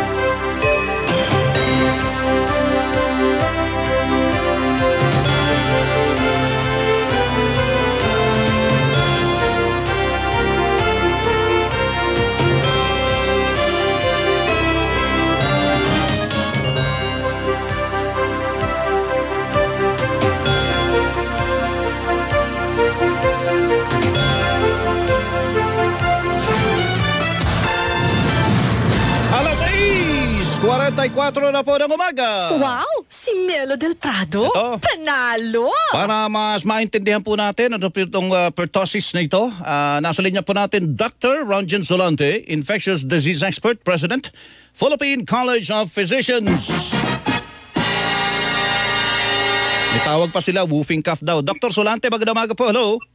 Ye- yes, uh, Melo, good morning. Bago po ba itong ah, pertussis na ito, ah, Doktor? Ay, hindi, Melo. Matagal na to. Uh, in fact, uh, isa to sa mga pinaka-oldest na mga infection, no? Na bacterial infection that can also cause severe type of uh, pneumonia. And itong infection na to, Melo, is one of those that can affect yung mga bata talaga, even yung mga infants as uh, early as two months, no? Oo. And ang ang characteristic na manifestation nito is yung tuloy-tuloy ang pag-ubo, no?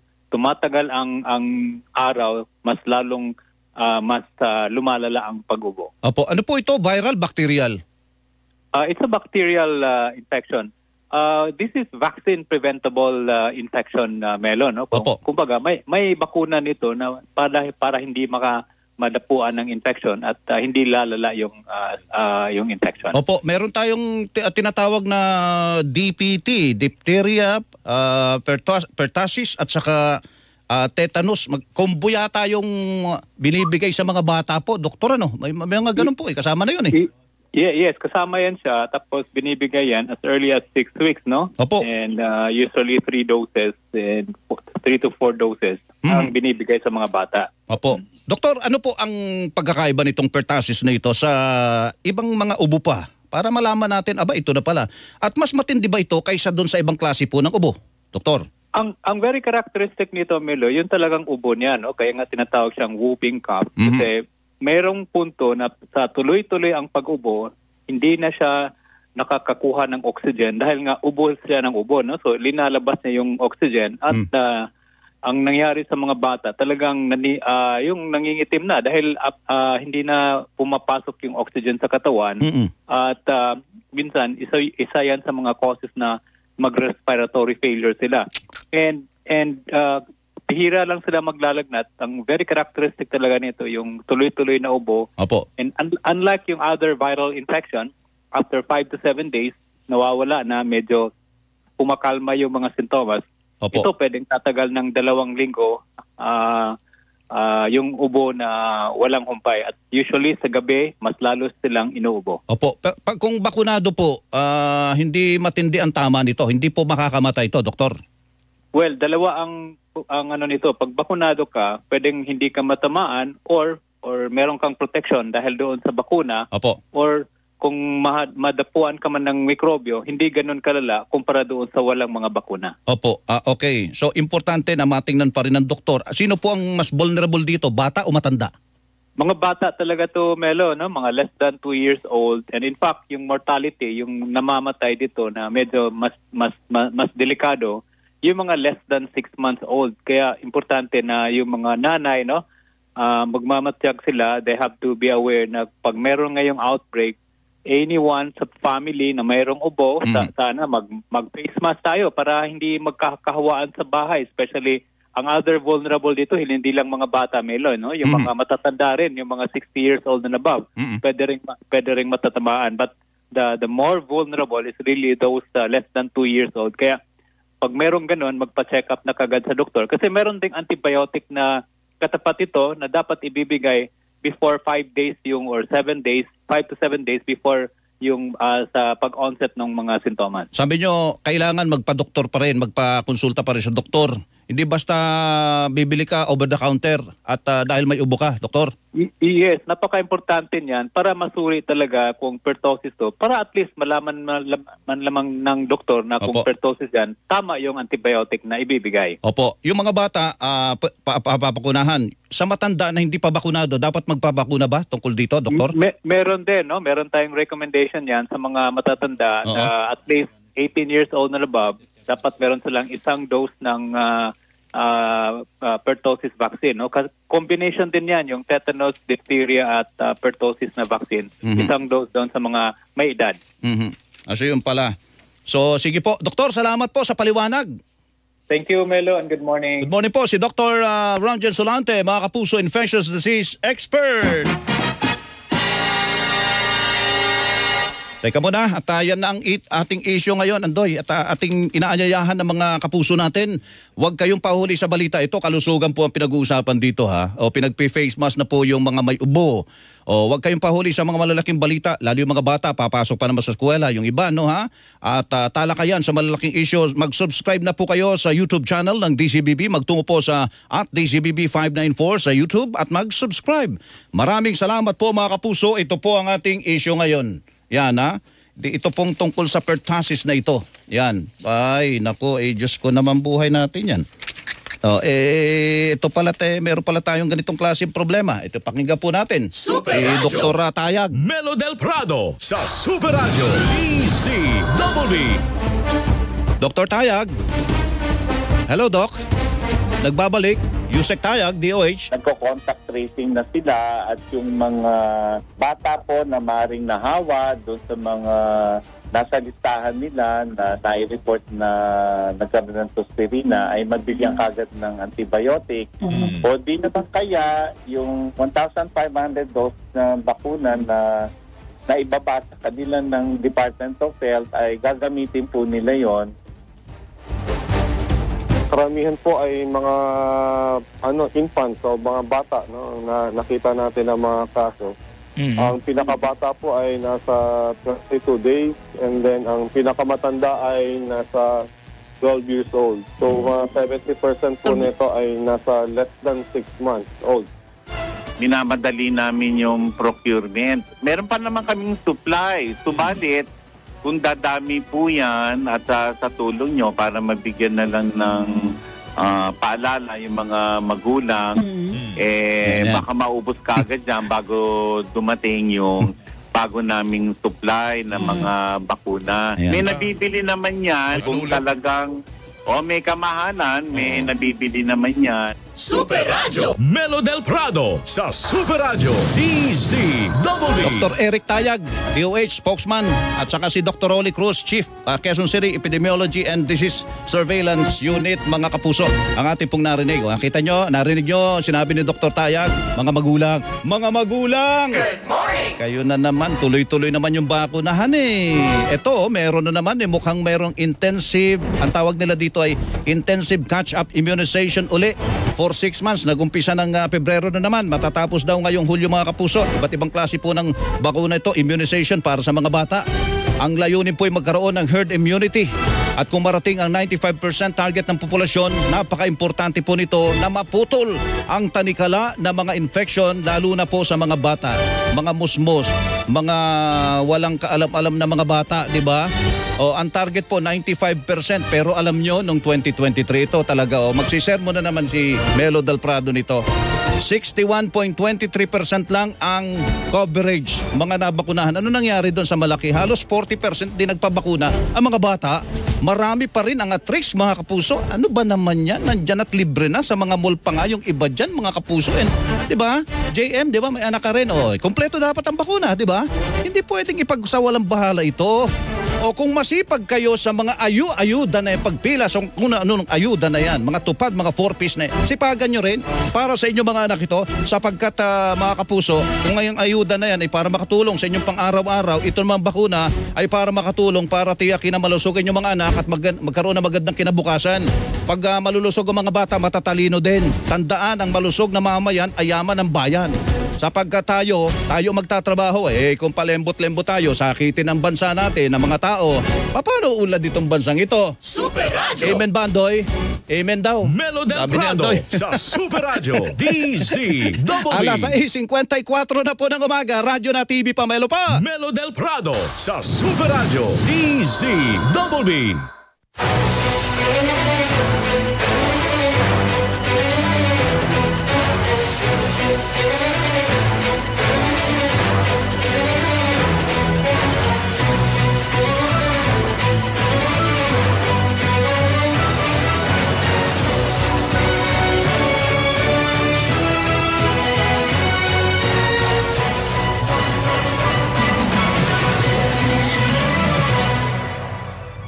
Kapuso, heto ang tips para mapangalagaan ang inyong bahay habang nagbabakasyon kayo sa ibang lugar.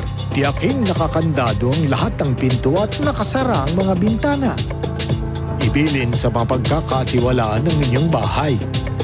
Kung maaari maglagay ng CCTV o burglar alarm. Huwag mag-iwan ng note sa gate o pinto na nagsasabing nagbakasyon kayo at walang naiwang tao sa bahay. Huwag mag-iwan ng furniture o appliances sa labas ng bahay. Ingat bahay tips para sa mga magbabakasyon. Hatid sa inyo ng Double B TV.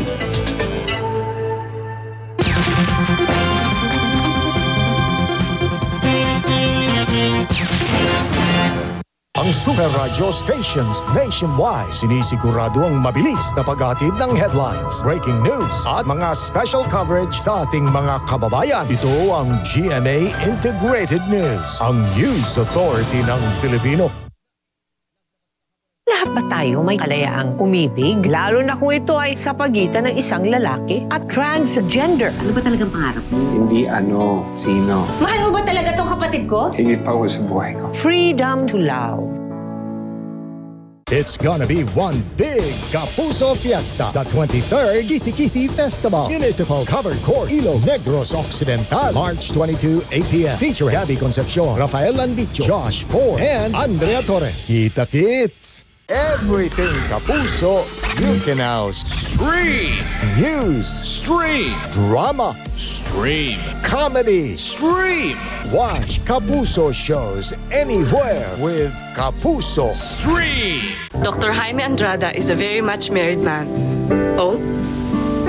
Huwag mo kong lokohin. To get what she wants, nothing will get in her way. Muling buksan ang puso.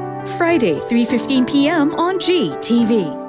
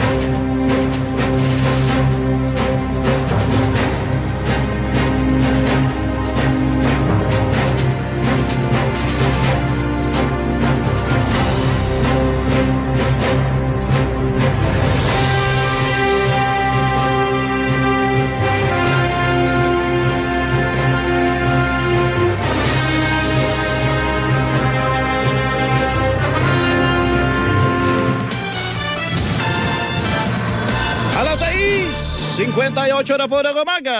Wow! Ayun. Si Melo Del Prado? Ito muna. Panalo! Mag-iiwan tayo ng good news para sa mga senior citizen. May special discount po sa ilang pangunahing bilihin. Umpisa ng March 25. O, tataas sa 125 pesos ang ah, discount sa senior citizens sa mga PWD.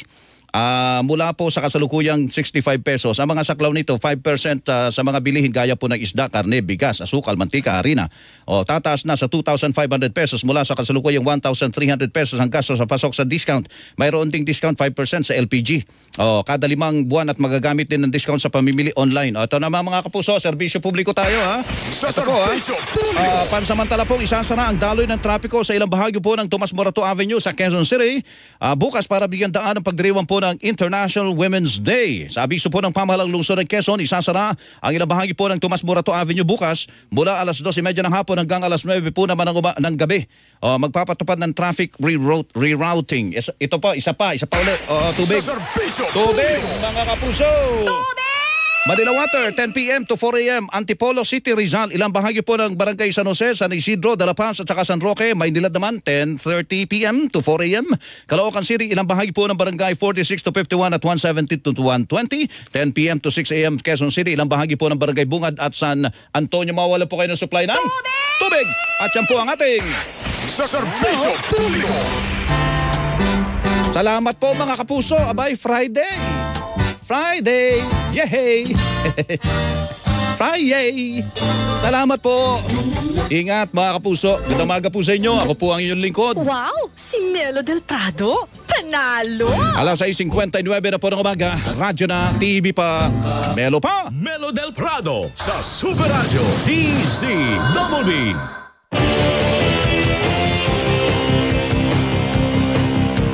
Tapat sa balita, yan ang aming anata. DZBB Super Radio 594. Laging naka-alerto, serbisyo, totoo. DZBB Kapuso nyo sa radyo. Walang kinikilingan,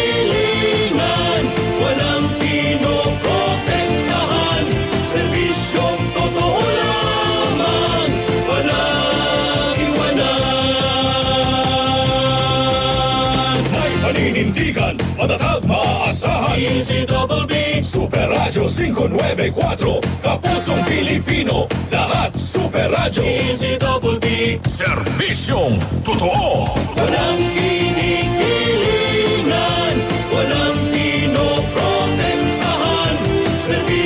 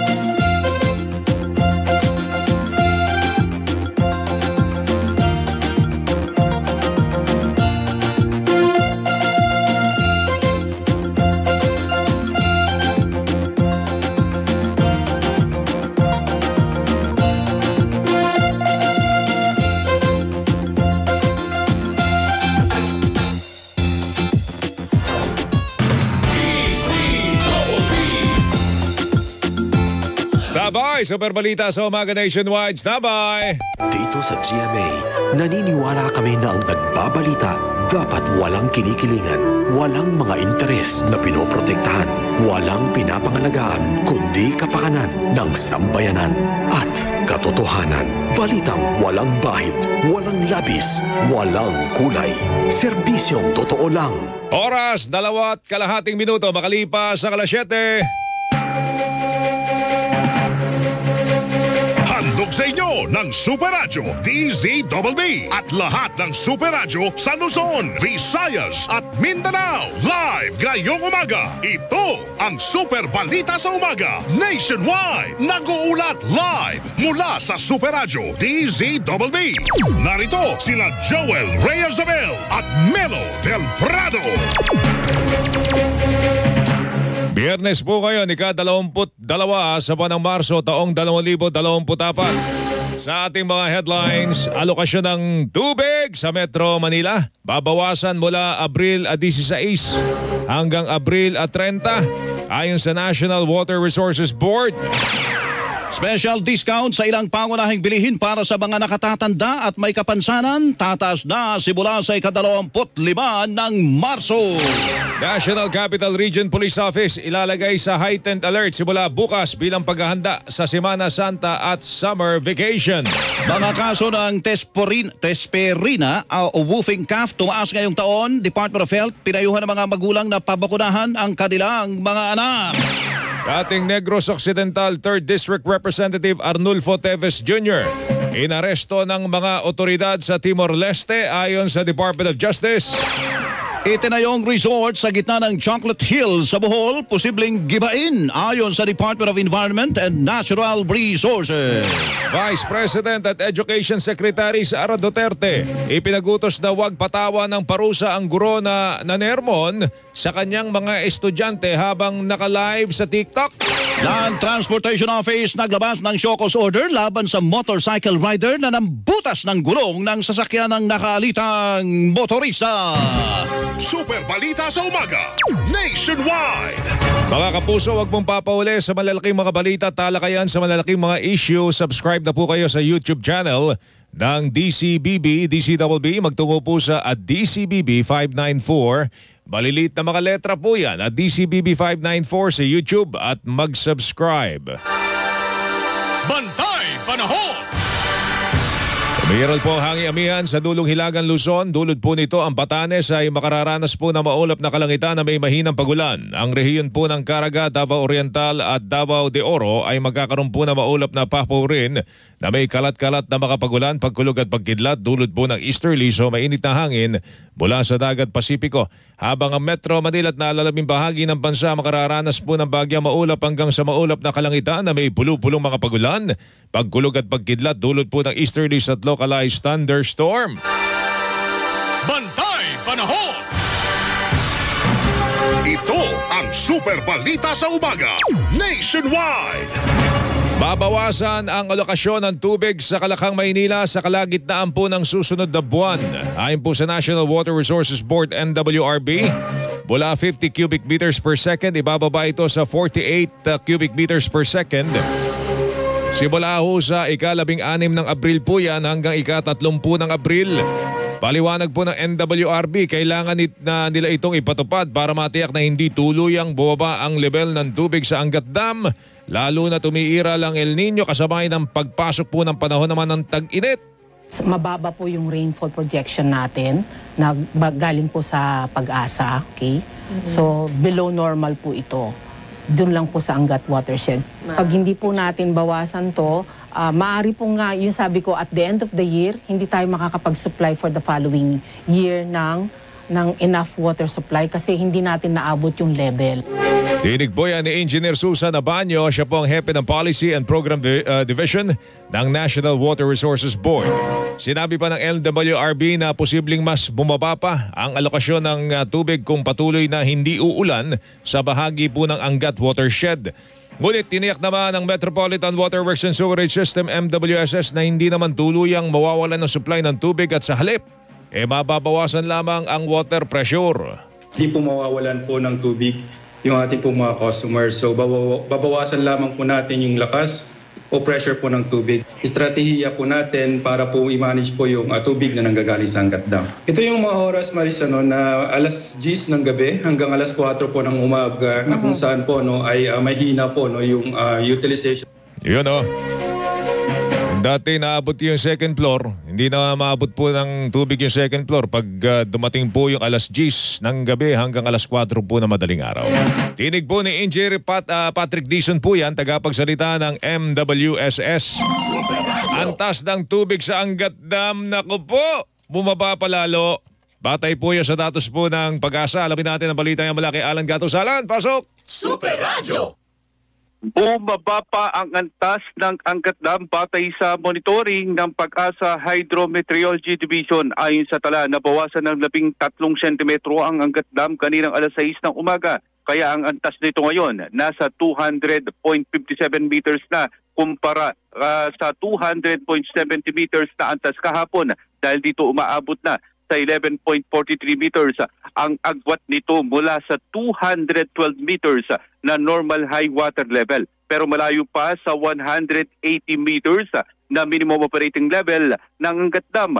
Maliban sa Angat Dam, bumaba rin ang level ng Lamesa, Ambuklaw, San Roque at maging ang Pantabangan Dam.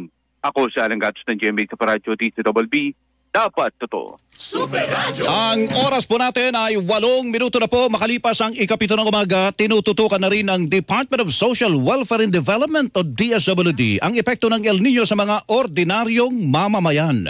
Sa ngayon, nakapagtala na ang DSWD na aabot sa mahigit sa 300 at 18,000 individual o katumbas na mahigit sa 64,000 pamilya na naapektuhan ng El Nino. Mula ang mga ito sa Central Luzon, Mimaropa, Western Visayas at sa Zamboanga Peninsula, aabot naman sa 1.2 milyong pisong halaga ng humanitarian assistance ang naipabot ng DSWD sa mga naapektuhan ng El Nino. Kabilang sa mga nahatiran ng tulong ang mga katutubo sa Kapas Tarlac matapos masira ang kanilang mga pananim bunsod ng matinding init na epekto ng El Nino. Epektibo na simula sa susunod na linggo ang taas diskwento para sa ilang pangunahing bilihin ng mga nakatatanda at may kapansanan. Ito'y batay po sa bagong Joint Administrative Order ah, o JAW na pirmado po ng Department of Trade and Industry, DTI, Department of Agriculture at Department of Energy. Mula sa 65 piso kada linggo, ay tataas na po ang discount sa 125 piso kada linggo o 500 piso kada buwan. The senior citizen discount of 20% is not applicable to all products. So that's why we came up with a 5% that's uh, applicable to those which are not uh, subject to the 20% uh, senior citizen discount. Bukod po sa grocery items na may tuturing na basic necessities at prime commodities, kasama rin po sa diskwento yung mga gulay, prutas at bigas. Maliban po sa specialty rice, meron din 5% diskwento sa liquefied petroleum gas o LPG kada limang buwan. Pinalawig na rin ang special discount sa mga bilihin online na mga senior citizen at persons with disability. Para naman maiwasan ang posibleng pag-abuso sa diskwento, dapat hindi bababa sa apat na iba't ibang uri ho ng items ang kailangan pong bilhin. Hindi pwedeng i-apply yung uh, full discount for the week na 125 sa isang item lang. Kailangan 4 items. Tinig po ni Trade and Industry Secretary Alfredo Pascual para makapag-avail ang mga nakatatanda at may kapansanan ng special discount. May kailangang dokumento gaya po ng Senior Citizen ID, valid government ID at purchase booklet. Samantala, presyo ng itlog dyan po sa lungsod po ng Davao bumaba. Alamin natin ang balita nga mula naman kay Jessa Torrefranca ng Super Radio Davao. Jessa, pasok! Super Radio. Kinumpirma ng ilang negosyante ng itlog sa Davao City ang pagmura ng presyo nito na aabot na sa 30 piso bawat tray sa panayam ng GMA Super Radio Davao kay Cecilia, isang uh, egg retailer sa Bangkerohan Public Market. Dalawang linggo na ngayon bumababa ang presyo ng itlog. Dagdag pa ng negosyante na bumaba rin ang demand nito sa ngayon. Ang isang tray ay mabibili sa ngayon ng 180 pesos mula sa 210 pesos habang ang oversize o jumbo size na itlog ay mabibili sa 245 pesos ang tray mula sa 275 hanggang 280 pesos. Ako, si Justa Terefranca sa Jamay Super Radio Davao, nag-uulat para sa Super Radio DZWB. Dapat totoo. Samantala, malaking poultry farm sa Argao, Cebu nasunog. Alamin natin ang balitang yan mula naman kay Nico Sereno ng GMA Regional TV Balitang Bishdak. Nico, pasok! Super Radio. Nico? You're on the air. Nico? Super Radio. Ang oras po natin ay labindalawang minuto na po makalipas ang ikapito ng umaga, ilalagay sa heightened alert ang buong puwersa ng National Capital Region Police Office o NCRPO simula bukas ikadalawamput-tatlo ng Marso. Ayon kay Lieutenant Police Lieutenant Colonel Eunice Salas, tagapagsalita ng NCRPO, ito ay bilang paghanda sa Semana Santa at Summer Vacation. Anya sa darating na araw ng linggo, idideploy ang mahigit sa labing isang libong tauhan ng NCRPO sa mga matataong lugar tulad sa mga terminal ng bus, pantalan, paliparan, simbahan at iba pang lugar na madalas pinupuntahan ng mga tao tuwing Semana Santa. Magtatalaga din sila ng Police Assistance Desk sa mga matataong lugar. Sa gitna nito ay nilinaw ni Salas na wala naman silang na-monitor na anumang banta sa seguridad sa Metro Manila ngayong darating na Semana Santa. ating intelligence operatives ay wala naman pong na-monitor na ah, imminent threat para po ah, sa nararapit na Holy Week at summer vacation. Ang tinig ni Police Lieutenant Colonel Eunice Salas, tagapagsalita ng National Capital Regional Police Office. Samantala, iba't ibang ahensya ng gobyerno magpupulong ngayong araw kaugnay ng paghanda para sa Semana Santa. Mark Makalalad, Mark! Super Radio. Mark? Ganda kasabay ng paggunita sa Semana Santa na magsisimula sa linggo March 24. Ito ay sa pamamagitan ng isang pagpupulong na isasagawa sa Kamkrami ngayong umaga na susundan naman ng isang pulong balitaan mamayang hapon kapilang sa inasang dadalo sa naturang pagpupulong ang mga matatas na opisyal ng uh, Philippine National Police, Armed Forces of the Philippines, Bureau Fire Protection at maging Philippine Coast Guard. Una nang sinabi ng PNP na magpapakalat sila ng mahigit apat na libo ng mga pulis sa iba't ibang areas of convergence gaya ng mga paliparan, pantalan at terminal ng mga pampublikong sasakyan gayon din sa mga pasyalan at simbahan. Layo nito na tiyaking magiging ligtas at payapa ang pagunita sa Semana Santa. Ang inyong kapuso Mark Makalalad ng GMA Super Radio. DCWE dapat totoo. Super Radio. Samantala, yung malaking poultry farm sa Argao, Cebu, nasunog mga kapuso. Naku po, naging lechong manok yung mga manok siguro dyan. Alamin natin ang balita mula kay ah, Nico Sereno ng GMA Integrated News. Nico, pasok!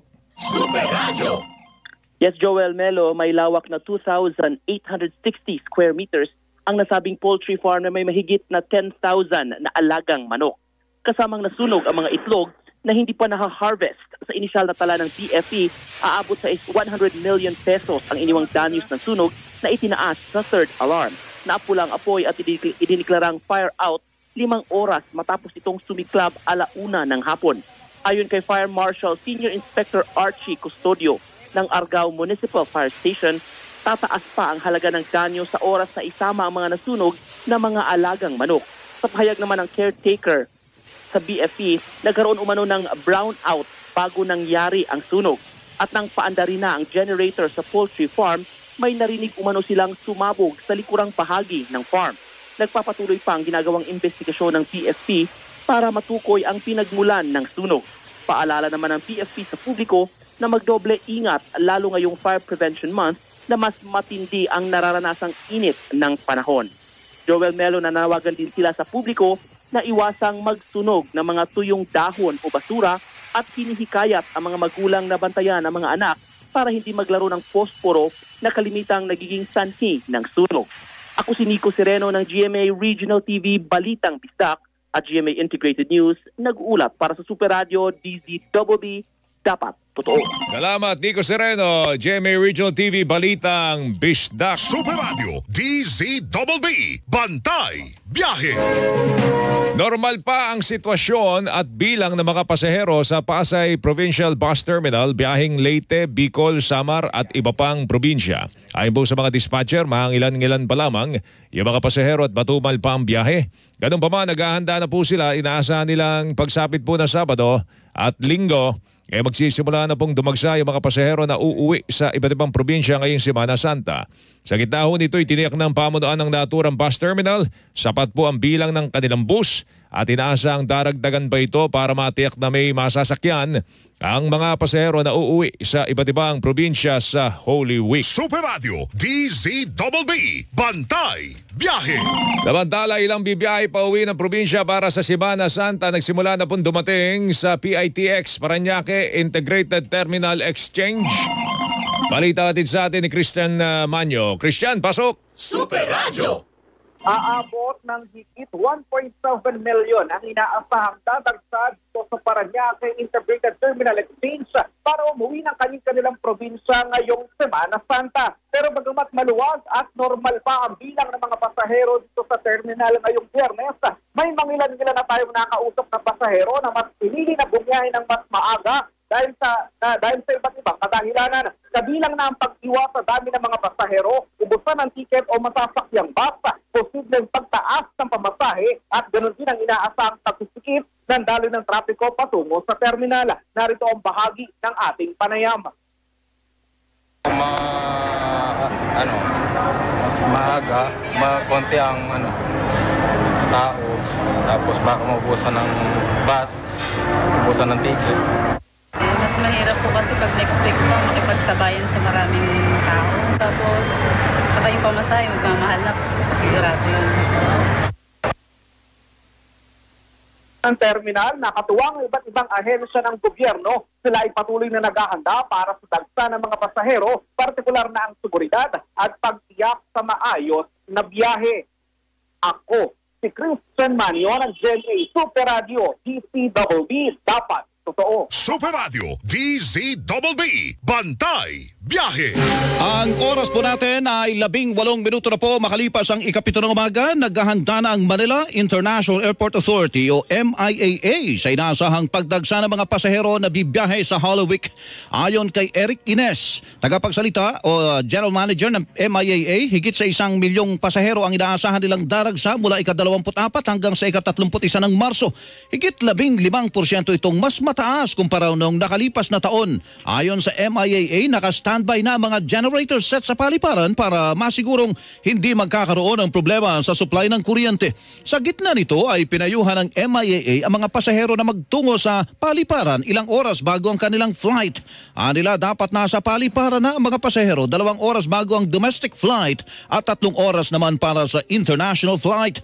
Para mapabilis naman ang proseso sa Bureau of Quarantine at Immigration Counter, pinapayuhan ang mga bibiyahe na kumpletuhin na ang e-travel registration online ng mas maaga. Super Radio DZBB Bantay Biyahe Unti-unti nang dumarami ang mga pasero sa ilang pantalan sa bansa ilang araw bago ang Semana Santa. Ayon kay Eunice Monte, tagapagsalita ng Philippine Ports Authority PPA, ngayon pa lamang po ay may nakita na ho silang unti-unting pagdami ho ng mga tao sa Batangas Port.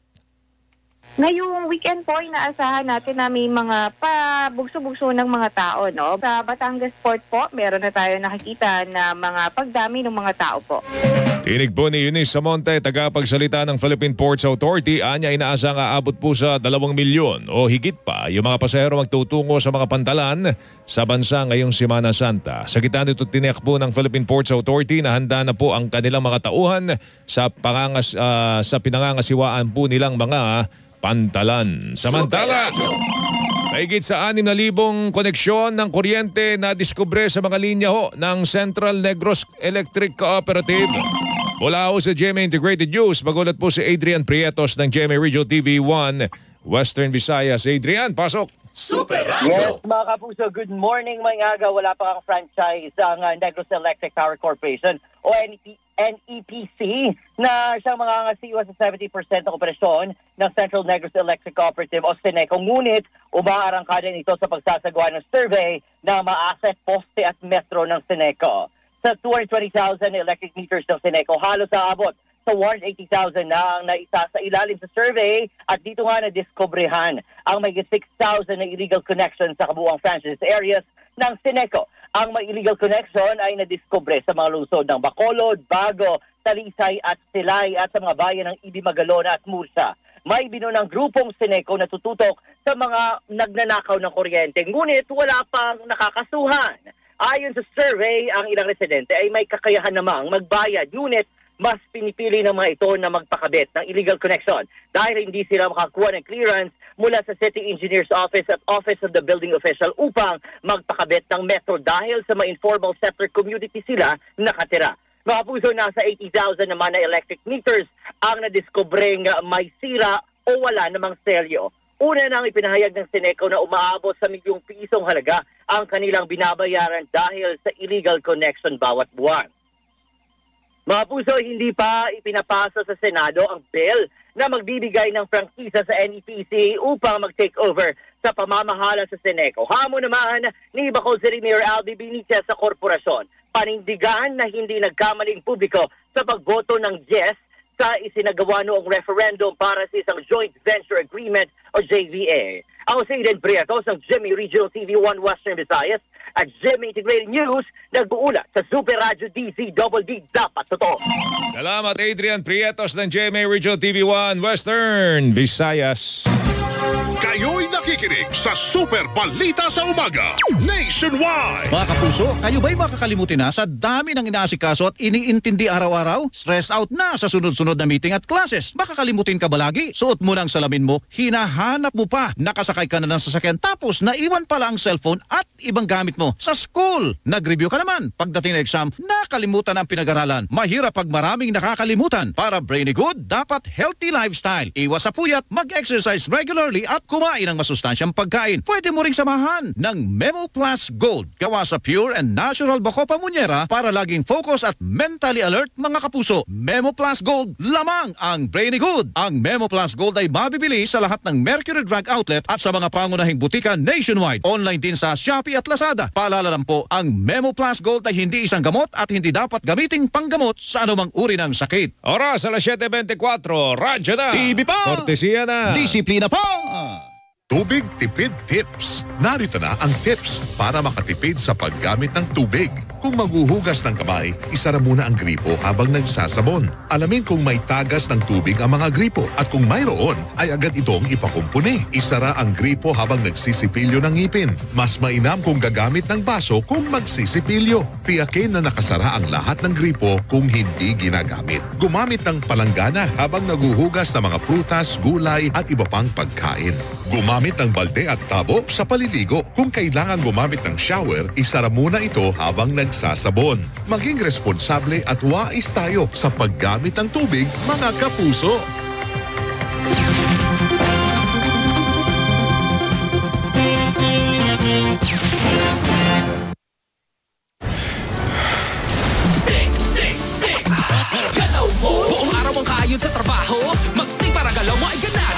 Ganado. Ataw sa galaw.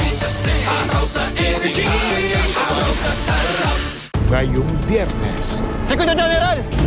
Sinimulan ko tong laban na to para sa pamilya ko. Pero ngayon kailangan ko nang tapusin to para sa lahat ng taong na biktima at mabibiktima pa ng kasama ni Edgardo. Black Rider, 9.40pm sa GTV.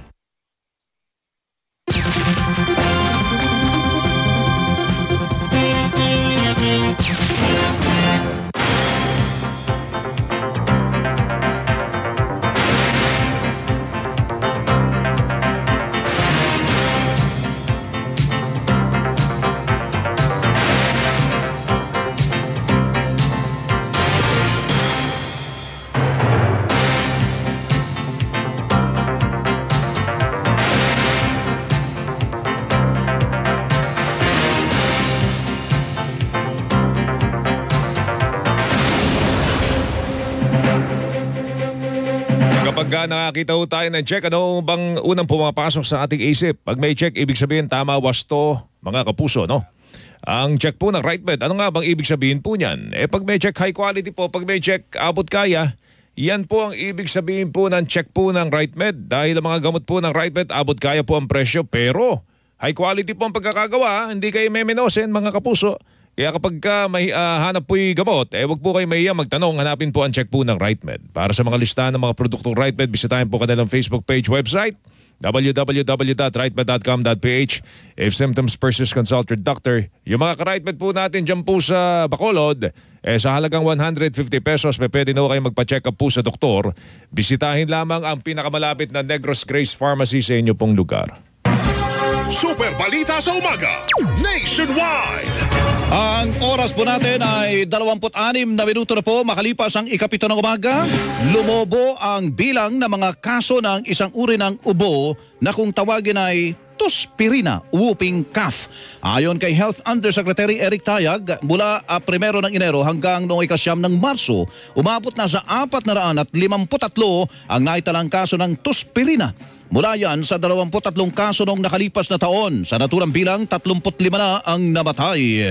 pinakamarami dito sa National Capital Region, sinusundan ng Region 4A, Calabarzon, at ang pumapangatlo po sa dami ng kaso po ay dyan sa Central Visayas, sa Region 7. At sa bilang na yan, hindi biro-biro ha, 35 na yung namatay. Ang tuspirina isang highly contagious o mabilis makahawa na bacterial respiratory infection na nagdudulot ng influenza-like symptoms tulad ng mild fever o mababang lagnat, sipon at pagubo. Sa loob ng pito hanggang sampung araw matapos mahawa, dulot nito hinimok ni Tayag ang mga magulang na pabakunahan laban sa tuspirina o whooping cough ang kanilang mga anak. Isa ito sa mga vaccine preventable diseases. So kung hindi bakunado yung baby, ah malamang sa hindi, maaari siyang mahawa at ah, magkakaroon niya ng tuspirina. Sinabi pa ni Tayag na sa ngayon ay minamadali na nila ang pagbili ng dagdag na bakuna kontra tuspirina. Minamadali namin yung procurement. Meron pa naman kaming supply. Subalit, kung dadami po yan at ah, sa tulong nyo para mabigyan na lang ng ah, paalala yung mga magulang, eh baka maubos kagad dyan bago dumating yung bago naming supply ng mga bakuna. May nabibili naman yan kung talagang o may kamahalan, may nabibili naman yan. May libre niyan sa mga health center. Kaya Saka lang, may sa mga mall pa, hindi nga napupuntahan Ah, nila. ganun ba eh? Wala, wala Ay, daw sila supply eh. Sabi ng DOH, di ba? Eh, paano? Nag-aantay daw sila supply. tuloy-tuloy nga ito. Diyos ko naman, eh, may Ayan. iba pang mga bakuna. Ang tinig po ni Health Undersecretary Eric Tayag. Oy. Isa patay, dalawa sugatan sa aksidente dyan po sa Mel Lopez Boulevard sa Tondo dyan sa Maynila. Balita din sa atin ni Manny Vargas. Man, go! Nasawi, nasawi ang isang driver ng trailer truck matapos salpukin ng isang 12-wheeler dump truck kaninang alas 4 ng madaling araw. Trailer versus uh, dump truck. Diyos Oo. ko, ano ba yan? Ah, sa kwento sa atin, nung nakausap nating crew ng tow truck na responde dito sa insidente kanina, na si Jason Gambawa, inabutan pa nila ang katawan ng hindi kilalang trailer truck driver na nakahandusay bago kinuha ng punerarya. Ayon sa ibang saksi, nasiraan ang trailer truck at nasa likod ang driver para sumenyas sa mga paparating na sasakyan. Gayunman, hindi siya agad napansin ng dump truck na sumalpok sa likuran ng trailer. Sugatan ang driver at pahinanti ng dump truck na isunugod sa ospital habang kinuha na nga ng punerarya ang katawan ng nasawing ah, trailer truck driver. Sa sandaling ito, sinimulan na at ah, nahatak na nitong ah, tauhan ng Road Emergency Group ng MMDA itong dump truck na nasira din o matindi rin yung ah, inabot ang pagkawasak kasunod ng naganap na aksidente. Kinumpirma naman ni Gambawa na sila ang humatak sa trailer truck na nasangkot din sa aksidente at dinala na sa impounding area ng Maynila habang nasa hindi tukoy na punerarya ang katawan ng nasawing driver. Ako si Manny Vargas ng GMA Super Radio DCWB. Dapat, totoo. Super Radio Flash Report! Nagsasagawa na po ng contact tracing ang lokal na pamahalaan ng Quezon City sa mga posibleng nahawa ng tuspirina o yung whooping cough. Ayon po sa Department of Health, layunin po ng contact tracing na mapigilan ang lalo pang paggalat po na sakit sa lungsod. Nagko-contact tracing na sila at yung mga bata po na maring nahawa doon sa mga nasa listahan nila na nai-report na nagkaroon ng tuspirina ay mabigyan kagad ng antibiotic. O di naman kaya yung 1,500 dose na bakuna na na ibaba sa kanila ng Department of Health ay gagamitin po nila yon Parang COVID pa rin ha. May contact tracing pa ha. Tinig po ni Health Undersecretary Eric Tayag. Una nang nagdeklara ng outbreak ng tuspirina ang Quezon City Local Government matapos makapagtala ng 23 kaso ng sakit sa lungsod kung saan apat sa mga ito'y namatay. Pawang mga sanggol. Karamihan po ay mga ano infants o mga bata no na nakita natin ang mga kaso. Ang pinakabata po ay nasa 22 days and then ang pinakamatanda ay nasa 12 years old. So uh, 70% po nito ay nasa less than 6 months old. Mm. Yung, yung akala mo, pangkaraniwang ubo lang? Ay, oo. Ba, Mamamatay tuspirina pala. pala? Mamamatay Ay. pala yung bata. Sus. Pagkaganyan. Ano bang carrier ba niyan? Matanda? Pa- Paano? Ano bang... Bacterial yan. Diyos ko, mga Bacterial, kapuso. bacterial. Tinig po, di viral. ti- tinig po ni Dr. Rolly Cruz, happy po ng Quezon City Epidemiology and Disease Surveillance Unit. Ang oras po natin alas 7.32 na po ng umaga, inaresto ng mga otoridad sa Timor-Leste si dating Negros Oriental 3rd District Representative Arnolfo Teves Jr. na wanted dahil sa kasong pagpatay kay dating Negros Oriental Governor Roel De Gamo at iba pa noong Marso ng nakalipas sa taon. You can run but you cannot hide. Yun yun eh. Lumiit ang mundo niya eh. The long arm of the law will catch up Eh, pag gold, with you. pa kasi eh. Yan, nadali mo. Hmm. Nadali ka. Wanted na nga eh. Yan. Ayon po sa Department of Justice, inaresto si Tevez bandang alas 4 ng hapon kahapon habang naglalaro ng golf. Naaresto si Tevez sa pamagitan ng pagtutulungan ng iba't ibang law enforcement agency, kabilang na ang International Criminal Police Organization o Interpol, National Central Bureau at lokal na pulisya sa Timor-Leste. Ayon kay Justice Secretary Jesus Crispin Remulla, ang pagkakaaresto kay Tevez ay patunay ng malakas na international cooperation. Anya, nakikipag-ugnayan ang ating mga otoridad sa gobyerno ng Timor-Leste para mapabalik ng Pilipinas si Tevez. Nito lang Pebrero, naglabas ng red notice ang Interpol laban kay Tevez na may arrest warrant para sa mga kasong murder, attempted murder, frustrated murder at naharap din siya sa kasong paglabag sa Comprehensive Firearms and Ammunition Regulations Act. Sinabi naman ni Pamplona Negros Oriental Mayor Janice De Camo Biyuta ng dating gobernador na ipinapakita lamang nito na gumugulong ang hustisya at umaasa sila na, na mapapauwi na ang dating kongresista para harapin ang mga isinampang kaso laban sa kanya. yung pagkahuli sa kanya goes to show na talagang walang pipiliin yung batas. Walang pinipili ang batas. Opo. So, sana po talaga mauwi siya sa Pilipinas, mapasok sa sa jail and uh, harapin niya yung mga ginawa niya sa mga loved ones namin. Ang tinig ni Pamplona Negros Oriental Mayor Janice De Gamo.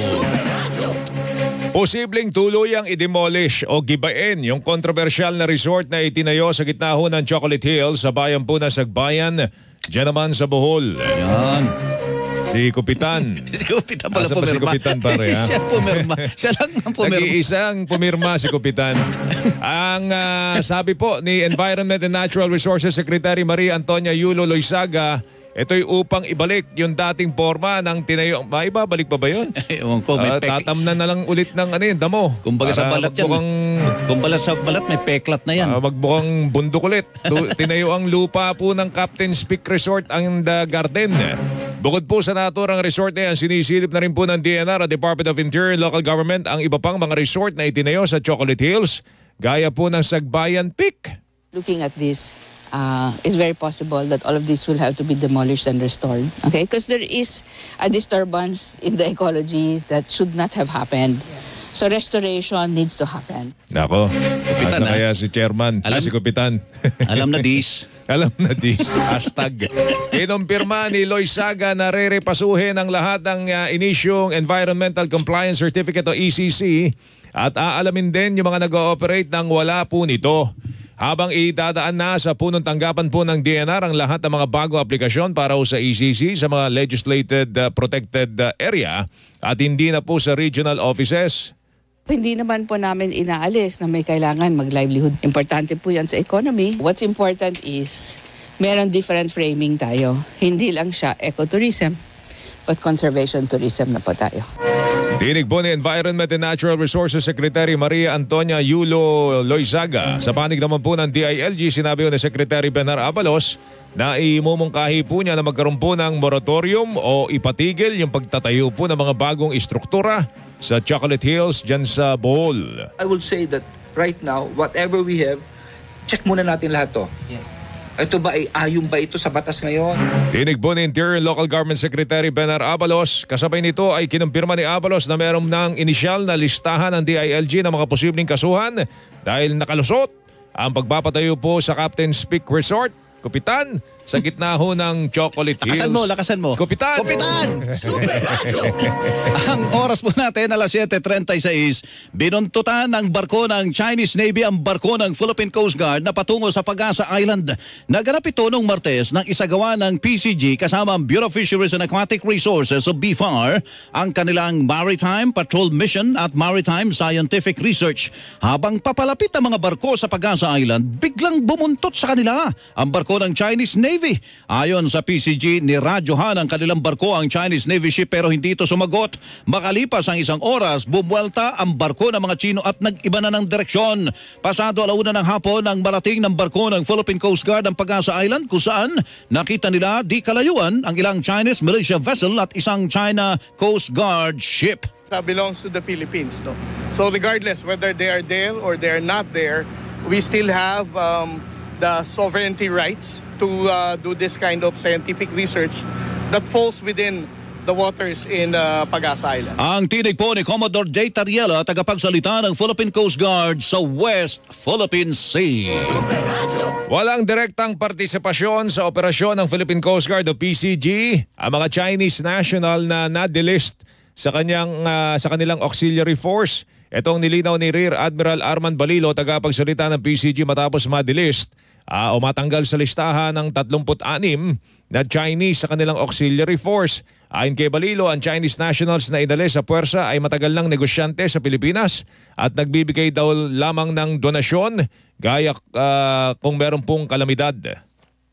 Ito yung mga auxiliary, mga volunteers na in-endorse ng mga Filipino-Chinese businessman at ah, para makatulong po sa mga civic action ng Philippine Coast Guard. Ah, ang participation lang nito ay ah, magbigay ng mga contribution pagka ho merong mga relief operations at other than that, wala na po silang ginagawa sa Philippine Coast Guard. Paglilinaw pa ni Balilo ang ranggong iginawad sa kanila noon ay honorary o bilang pagkilala lang sa kanilang ambag. Wala rin anyang nakukuhang anumang sensitibong impormasyon mula sa Coast Guard. Yung mga miyembro po ng auxiliary force. Mga sensitive information like operation, ah, kami man po hindi namin nalalaman minsan sapagkat merong mga ah, clearance na kailangan bago ka makaalam ng mga sensitive information at ah, maipit po ang ah, ating security parameters pagdating po dyan. Tinig boya ni Rear Admiral Arman Balilo, tagapagsalita ng Philippine Coast Guard. Super Balita sa Umaga Nationwide. Ayan. Eh, na- napapanahon ito, mga kapuso, ha, yung pagpapalakas po ng ating katawan. Kasi ah, meron kasing marami, marami diyang pakalat-kalat lang na bakterya o kaya virus. O kita nyo ngayon, anong pinag-uusapan? Tospirina, woofing cough, ano, mga kapuso, o yan. O eh, kayo mga bata, kayo mga bata, pati matanda. Ito po, ah, pinapayuhan tayo magpalakas ng ating katawan. Yan po ang ating first line of defense. Yung resistensya, yung immune system, mga kapuso. Mag-Immunamax food supplement. Ang Immunamax po ay gawa sa CM Glucan na nagmula pa sa Switzerland. Ito po ay available in capsule for adults. Ito po mga kapuso, dalawang kahon na ito na may kulay puti at may kulay berde. Pag binuksan nyo yan, kapsula po ang laman yan na Immunamax food supplement. Para po sa mga adults. Yung kulay berde niyan, yun po yung forte variant ng Capsule for Adults Immunamax Food Supplement. O sa mga bata naman, ito pong kulay orange na ito at saka yung kulay berde na yun. Ang laman po niyan ay botelya o, na ang laman po ay syrup. Syrup for kids, mga kapuso, Immunamax Food Supplement. Yung kulay berde noon, syrup for kids, Immunamax Food Supplement na forte variant. Mula po sa aming studio o kahit nasaan pa kayo, magandang balita po talaga ang Immunamax. Mahalagang paalala ang Immunamax at Immunamax Forte ay hindi po gamot at hindi dapat gamiting panggamot sa anumang uri po ng sakit. Oras, alas 7.41, radyo na. TV pa. Kortesiya na. Disiplina pa. Iwas sunog. Ilang paalala kung paano makaiiwas at magiging ligtas ang ating mga tahanan laban sa sunog. Huwag mag-imbak ng flammable liquid tulad ng gaas at alkohol sa bahay. Ilayo sa mga bata ang mga posporo at lighter. Ilagay ang nakasinding kandila sa palangganang may tubig. Ipaayos ang sirang appliances. Huwag mag-overload ng outlet at huwag gumamit ng sirang cord. Ilayo ang flammable liquid at iba pang combustible material sa kalan. Bunutin sa saksakan ng appliances kung hindi naman ginagamit. Siguruhin walang leak o tagas ang tangke ng inyong LPG. Iwas sunog tips. Ilang paalala mula sa Bureau of Fire Protection.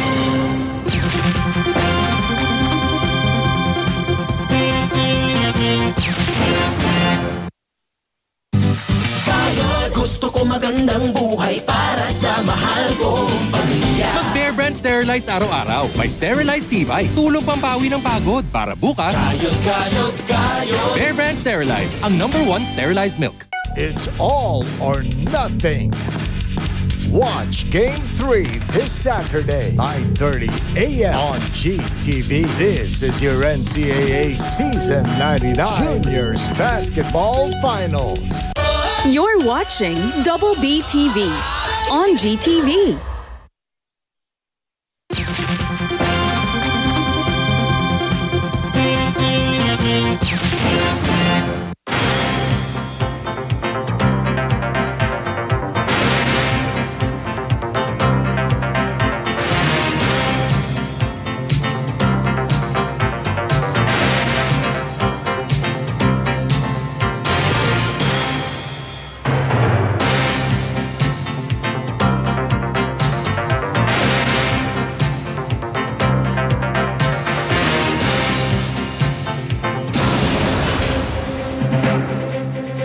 Mami, itodo na natin tong vitamins para sa mga kids natin, no? Ah, para hindi basta-basta tinatamaan ng mga sakit. Mahirap na po ngayon para ta- tatalbog lang yan. Mga Bakterya na yan, yung mga virus na yan. Di ba? Pag malakas ang pangatawan ng ating mga kids, pag naka-Cherryfer Syrup fortified with zinc, yun yung sinasabi natin. Kayong mga mami, hindi kayo pumapayag sa pwede na. Kaya naman ang Cherryfer po gumawa nitong Cherryfer Syrup na fortified with zinc. Isa po ito sa mga vitamins made by Cherryfer na para sa mga kids. Ang Cherryfer Syrup fortified with zinc ay lemon flavored syrup. Talagang magugustuhan po ng mga bata ang lasa. Sabi nila panalo na kaagad sa lasa pa lang. Eh, may CGF ito, may lysine, may taurine at zinc pa, mga kapuso. Ganyang katindi itong Cherryfer Syrup fortified with zinc. Goodbye sa pwede na dahil ika nga nila pagdating po sa kalusugan ng mga kids, moms know best. Mahalagang paalala ang Cherryfer ay hindi po gamot at hindi dapat gamiting panggamot sa anumang uri po ng sakit. Nakikinig sa Super Balita sa Umaga Nationwide. Ang oras po natin, alas 7.44 na po ng umaga, naisumiti na ng Kamara sa Senado ang resolution of both houses number 7 na nagsusulong ng economic charter change. Umaasa mga lider ng Kamara na maaprubahan ito ng mga senador bago ang sinedie adjournment ng uh, Kongreso sa ikadalawamputliba ng Mayo. Anila hindi na dapat patagalin pa at dapat aprubahan na rin ng Senado ang sarili nilang bersyon resolution of both houses number 6. The guidance from the Speaker is to give as much time that the Senate requires in support of the President. However, we have to understand there's a limited time frame to do this. As, as many of us actually know, the elections are coming and we already cited that the most favorable time is for this to be passed before Congress adjourns sine day. Ang tinig po ni House Deputy Majority Leader Jude Asidre. Sinabi naman ni Senator Sani Angara na ikinalulugod ng Senado ang pag-transmit ng Kamara ng RBH 7 pero aminado siya na hindi patiyak ang boto ng mga senador sa kanilang resolution of both houses number 6. dito sa Senado, medyo ano pa rin, challenge makuha yung ah, labing walong boto. But ah, ganun pa man, naghihiring pa naman kami. Ang tinig ni Senator Sonny Angara. Walang kakaharaping parusa ang pampublikong guro na nanermon sa kanyang mga estudyante habang naka-live sa TikTok. Ito ay matapos ipagutos po ni Vice President Education Secretary Sara Duterte na huwag patawan ng anumang parusa ang naturang guro. Paliwanag po ni Duterte, tao lang naman ang guro at lahat tayo ay nagagalit. Sinabi pa ni Bise na nakita na niya ang paliwanag po ng guro at idinahilan na hindi niya alam na naka-live siya online noong makunan ang panenermon. sinabihan ko ang regional office natin na there will be no uh, penalties uh, for the teacher. Dahil sabi ko nga, tao lang tayo lahat. Lahat tayo inaabutan na ng galit. Pinasabihan ko yung teacher. Tumigil muna siya kapag uh, galit na siya. Pag hindi na siya galit, saka siya magklase. Yun, oh. maganda naman pa yun, pare, Tama, di ba? tama, tama. Oh, pagka galit, eh, tumigil muna. Pagka okay na. Tumahimik. Oo, eh, tsaka magklase. Tsaka Oo. itabi yung cellphone, huwag naman siya kaklase, Hindi daw niya alam eh, na naka-live daw siya sa TikTok. Eh, lahat kasi ngayon eh, content creator. Lahat na. Paramihan ng likes, no? Ha? Kinig po ni Vice President at Education Secretary Sara Duterte. Ang pahayag ni Duterte ay ginawa habang nasa Cambodia po siya na bahagi ng kanyang tungkulin bilang presidente ng South Asian Ministers of Education Organization o SIMEO. Samantala, Pamilya ng nasawing si Congressman Edgardo Salvame, suportado po ang pagtatalaga kay House Speaker Ferdinand Martin Romualdez bilang caretaker ng First District po ng Palawan. May Palawan na naman. Oo, di ba? Namatay si ano dyan, si Hagedorn, di ba? Si Congressman Hagedorn. Ito Palawan na naman, si Congressman Salvame naman. June Fred Calamba, Super Radio Palawan. June Fred, pasok! Super Radio!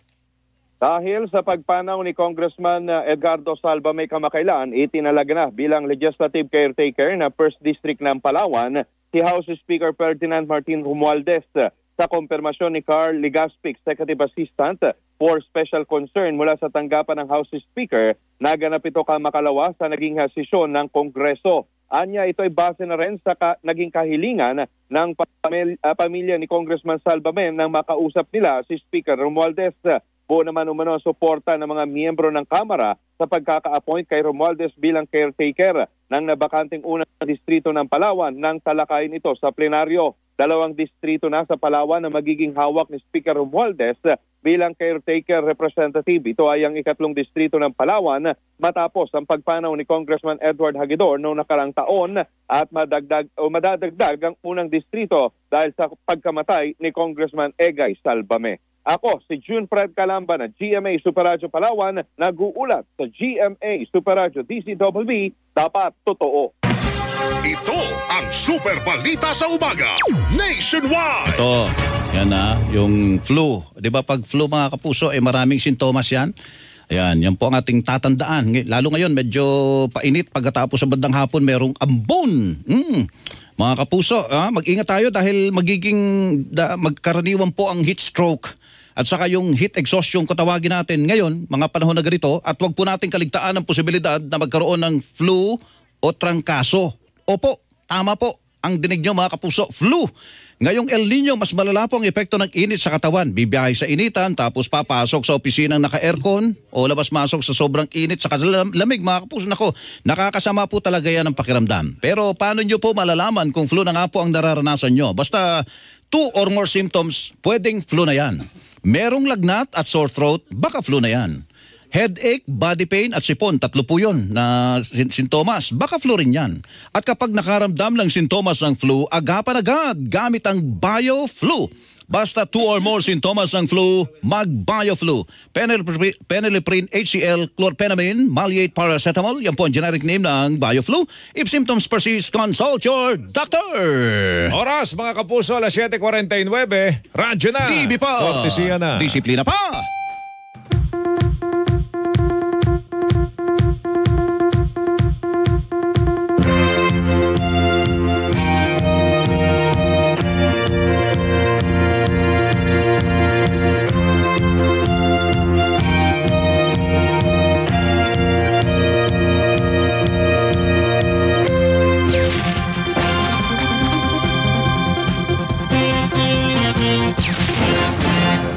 Ang Super Radio stations nationwide sinisigurado ang mabilis na paghatid ng headlines, breaking news at mga special coverage sa ating mga kababayan. Ito ang GMA Integrated News, ang news authority ng Filipino.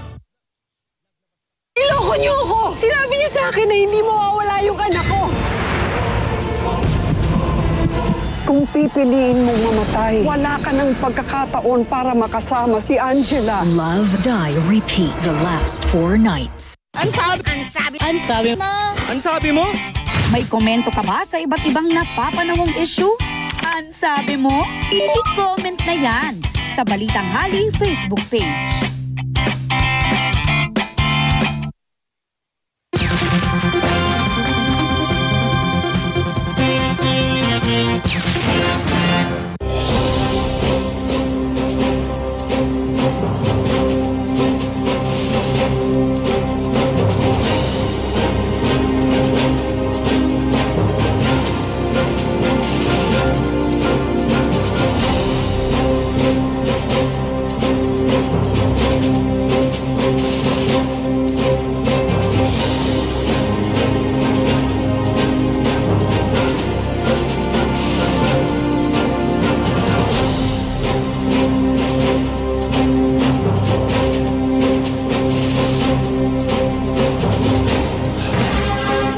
Balita sa Umaga, Nationwide.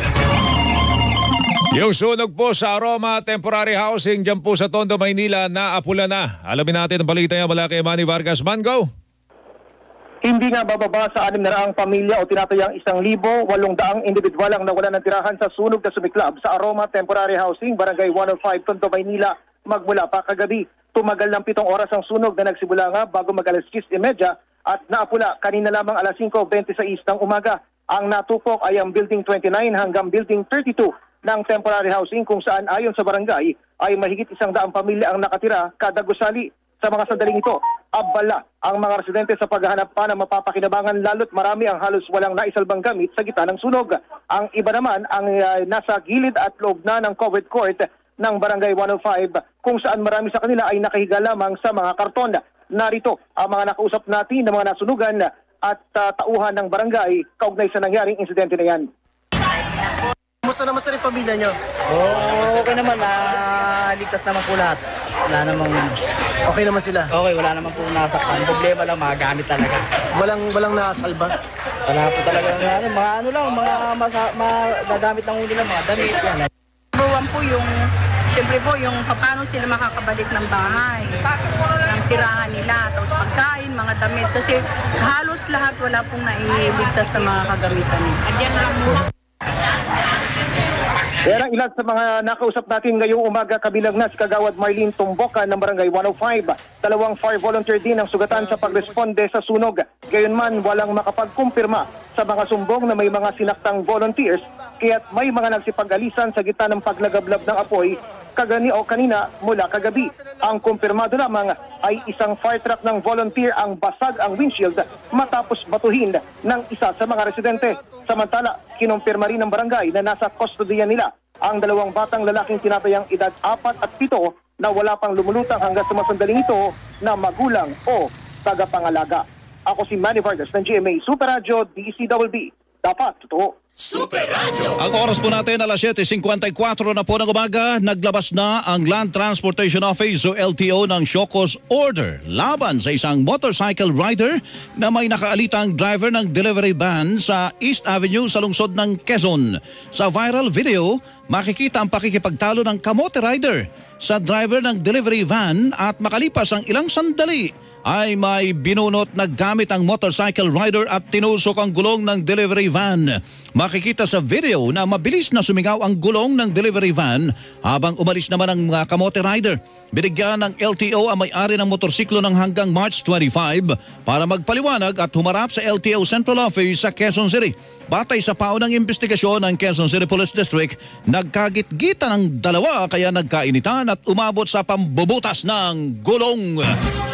Super Balita sa Umaga, Nationwide. Oh, meron ng outbreak, pare Ayan, Melo. ah, Quezon City. Tuspirina, dito sa Quezon Tuspirina. City. Saan Tap- din? Sa Mm. Iloilo rin. Sa Iloilo Local- meron na rin. local Ano, outbreak. ah, tapos ang ah, pagkalat po sa iba't ibang panig po ng ah, bansa ay ah, dumadami. 423 mga Tignan mo kapuso. yan. At 35 yung patay nationwide. Yun, ah. oh. Tapos Sa Quezon City, apat. Apat. Oh, puro mga bata pala to. Mga bata. Ah, ano daw yan? Yung walang tigil na ubo. Tapos pagka Dry cough. umubo ka, parang may hagod yung ubo mo. Yung Parang binubunot yung baga mo? Oo, ganun. Parang, Parang ganun? parang hika. Sige nga. Parang hi- Paano ba yan? Wala akong tuspirin eh. Ganun ba? Oo. Hindi, may Oo. bakuna dyan. May bakuna pala to. Ay, eh, pwede naman palang bakunahan. Alam mo yung DPT? Makakaligtas pala mga bata. ano? Mga bata, kung kayo po'y kumukonsulta doon sa mga pediatrician, sasabihin sa inyo, ito, combo ito. DPT, diphtheria, Combination. pertussis, Aha. ah, ano pa isa, tetanus, DPT yan, Ayun. may ano pa yan, may hepa-hepa vaccine pa. So kaya pong ano, Ay, iligtas sa mga bata. preventable. Oo. Eh basta magpapabakuna lang po kayo. Eh sa ano ba? Sa, eh, ba't hindi namamalaya ng mga sa, nanay? Hindi, sa health ano? Sa health, Meron, meron, yan. Meron, sa health center. Meron yan, oo. Kasi may pala. continuing ah, immunization. Ayun. Pati nga yung ah, polio, may oral polio vaccine nga eh. Pero sabi May rubella. Ni, sabi ni, Sek- ni Yusek Tayag parang Kinukulang. kulang pa rin Ay, daw eh. No? ba- So magpapadala pa rin sila ng mga bakuna sa mga health center. katukin nyo po yung mga mga local government unit nyo, lalo sa Quezon City na mayaman mayor, naman. mga mayor. Meron silang sarili mga ganyan eh. Baka pwedeng Oo. bumili ang Oo. uh, Quezon City government at uh, supplyan yung kanilang mga health center. To, DPT, rubella. Preventable. Mga Preventable. Oo, eh kaya lang, walang kalaban-laban ng bata eh. Ano pa lang yan ha? Ah, ano ang pangalan? Tuspirina. Tuspirina. Tuspirina pa lang yan. May rubella, may, Pertasis, pertasis sa English. may ha? polio pa. Yung polio nagpaparamdam daw ngayon. Ako po. Hepatitis B, influenza. O, mga bata, mga point. Kailangan ba natin mag-mask up ulit pare? Ano yung mga uh, sinasabi? sa mga eskwelahan kanina sa report ni Alan Gatus, Mm-hmm. mag ah, nag nag ah, face mask na naman. Eh ngayon mga kapuso, dapat ang target natin diyan 95% Aha. ang immunization natin para yung sa COVID may herd immunity eh, tayo. Eh, tama, tama. Oh. Pero nakaka 60% pa lang daw. Eh. Lalo doon sa Western Visayas, ganun yung kanilang basa doon. Pabakunahan nyo na po yung mga anak ninyo. Mm-hmm. Meron daw niyan sa mga health center. Oo, no? Puntahan nyo. Balikan natin ang ating mga headlines, mga kapuso. Ito na. Tingnan mo na, tingnan mo na.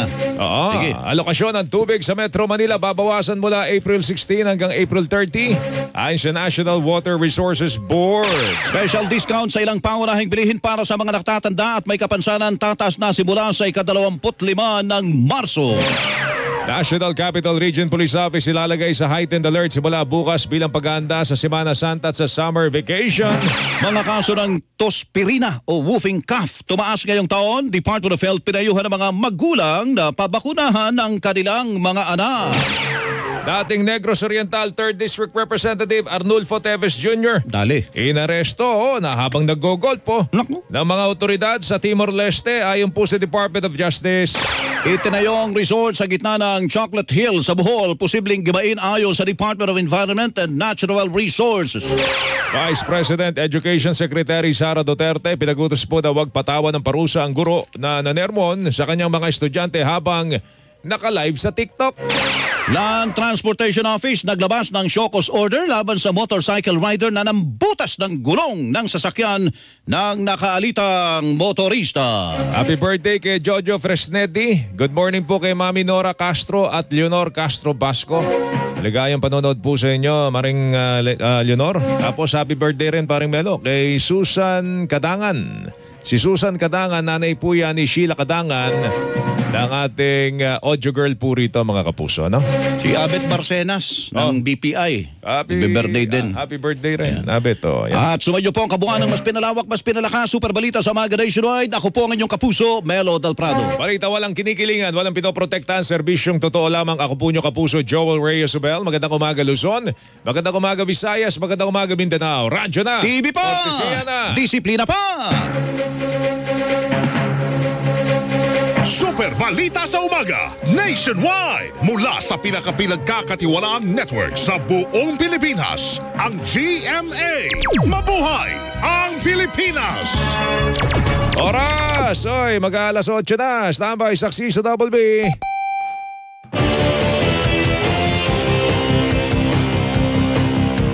Tapat sa balita, yan anata. Easy Double B, Super Radio 594. Lagi naka-alerto, serbisyo, totoo. Easy Double B, kapuso nyo sa radyo. Walang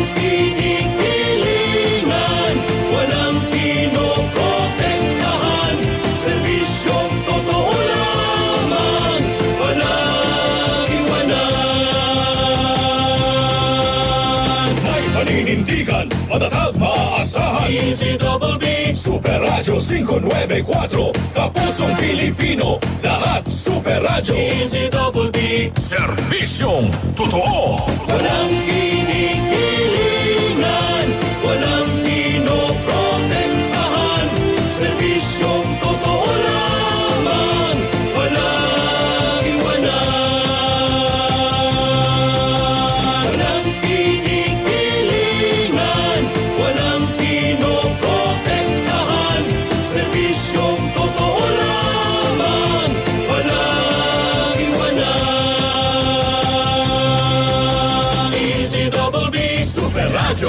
Patuloy ang pag-init at pagtindi ng inyong pagmamahal. Kaya number one AM station ang Super Radio DZBB at number one FM station ang Barangay LS. GMA Radio is still number one. Maraming salamat mga kapuso. Gusto ko magandang buhay para sa mahal kong pamilya Mag Bear Brand Sterilized araw-araw. May Sterilized Tibay. Tulong pampawi ng pagod para bukas. Kayod, kayod, kayod Bear Brand Sterilized, ang number one sterilized milk. Dr. Jaime Andrada is a very much married man. Oh? Huwag mo kong lokohin. To get what she wants, nothing will get in her way. Muling buksan ang puso. Friday, 3.15pm on GTV. It's time for a healthy food trip. Ganda ng kulay. Dilaw, green, merong kulay ube. Na magsisimula sa pangmalakasang challenges. Oh, laki! Ako ba mga habol na sila? Ang hirap kumita ng pera. ah. Teka. Ife-flex natin ang healthy foods ng Alfonso Cavite. Ang sarap kasi ng kaong kasi chewy. Narinig niyo ba yon? Sobrang lutong naman yan. Naubos ko na. This Saturday on Pinasarap, 8.15pm. Good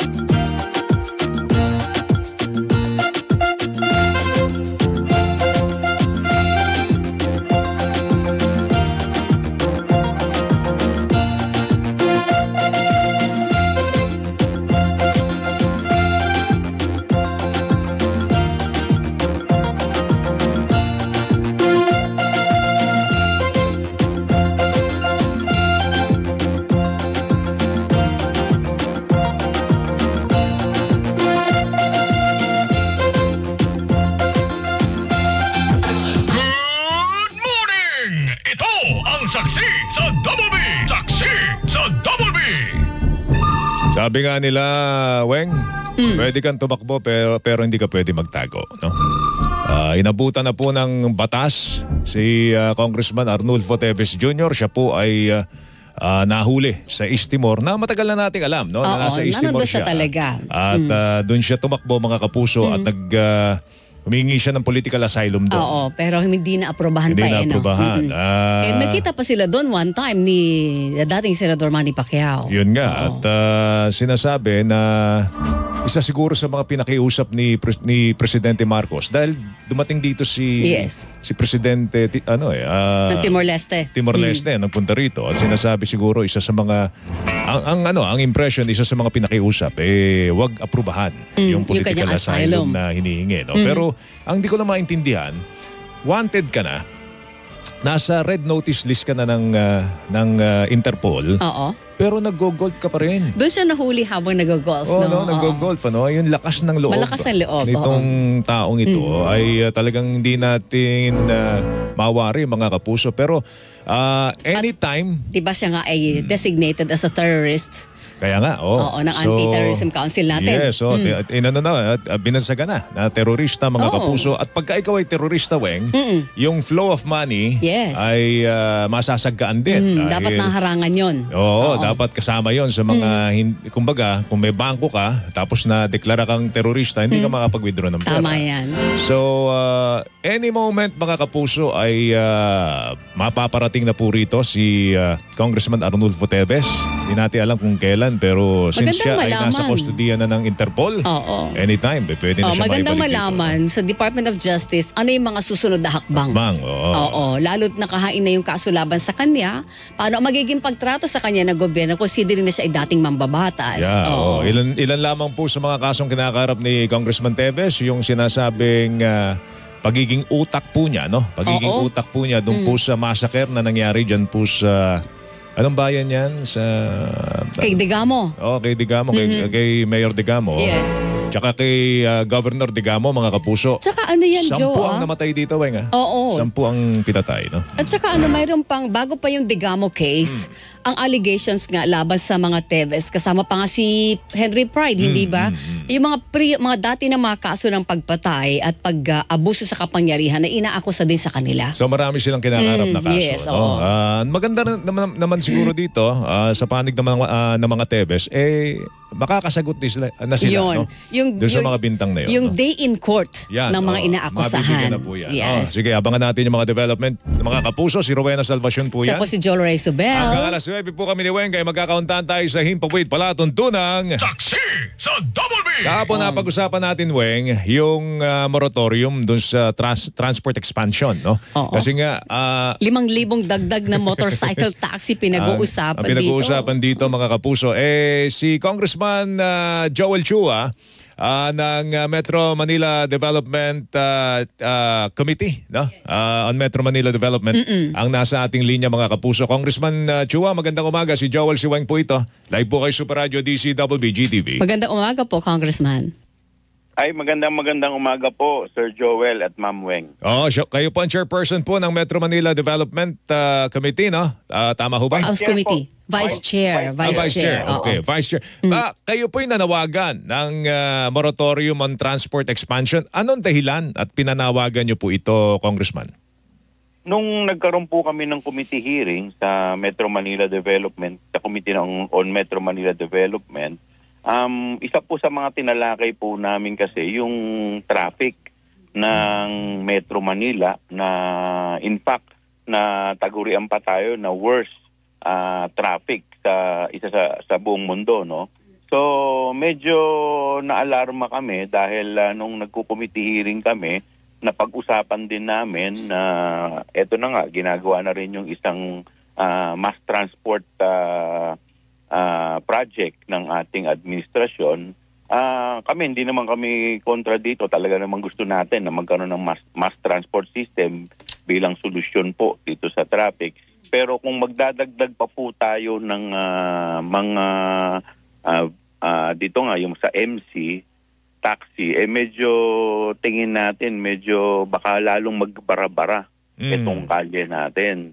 Ah, isa pa rin sa napansin namin kasi na marami ring naging problema eh. Isa po sa mga problema yung mga aksidente na dahil siguro sa kakulangan ng mga ah, disiplina o sa mga MC taxi. So medyo nasa proseso pa sila ng pilot study hanggang ngayon. Ang tagal na nga na itong pilot study.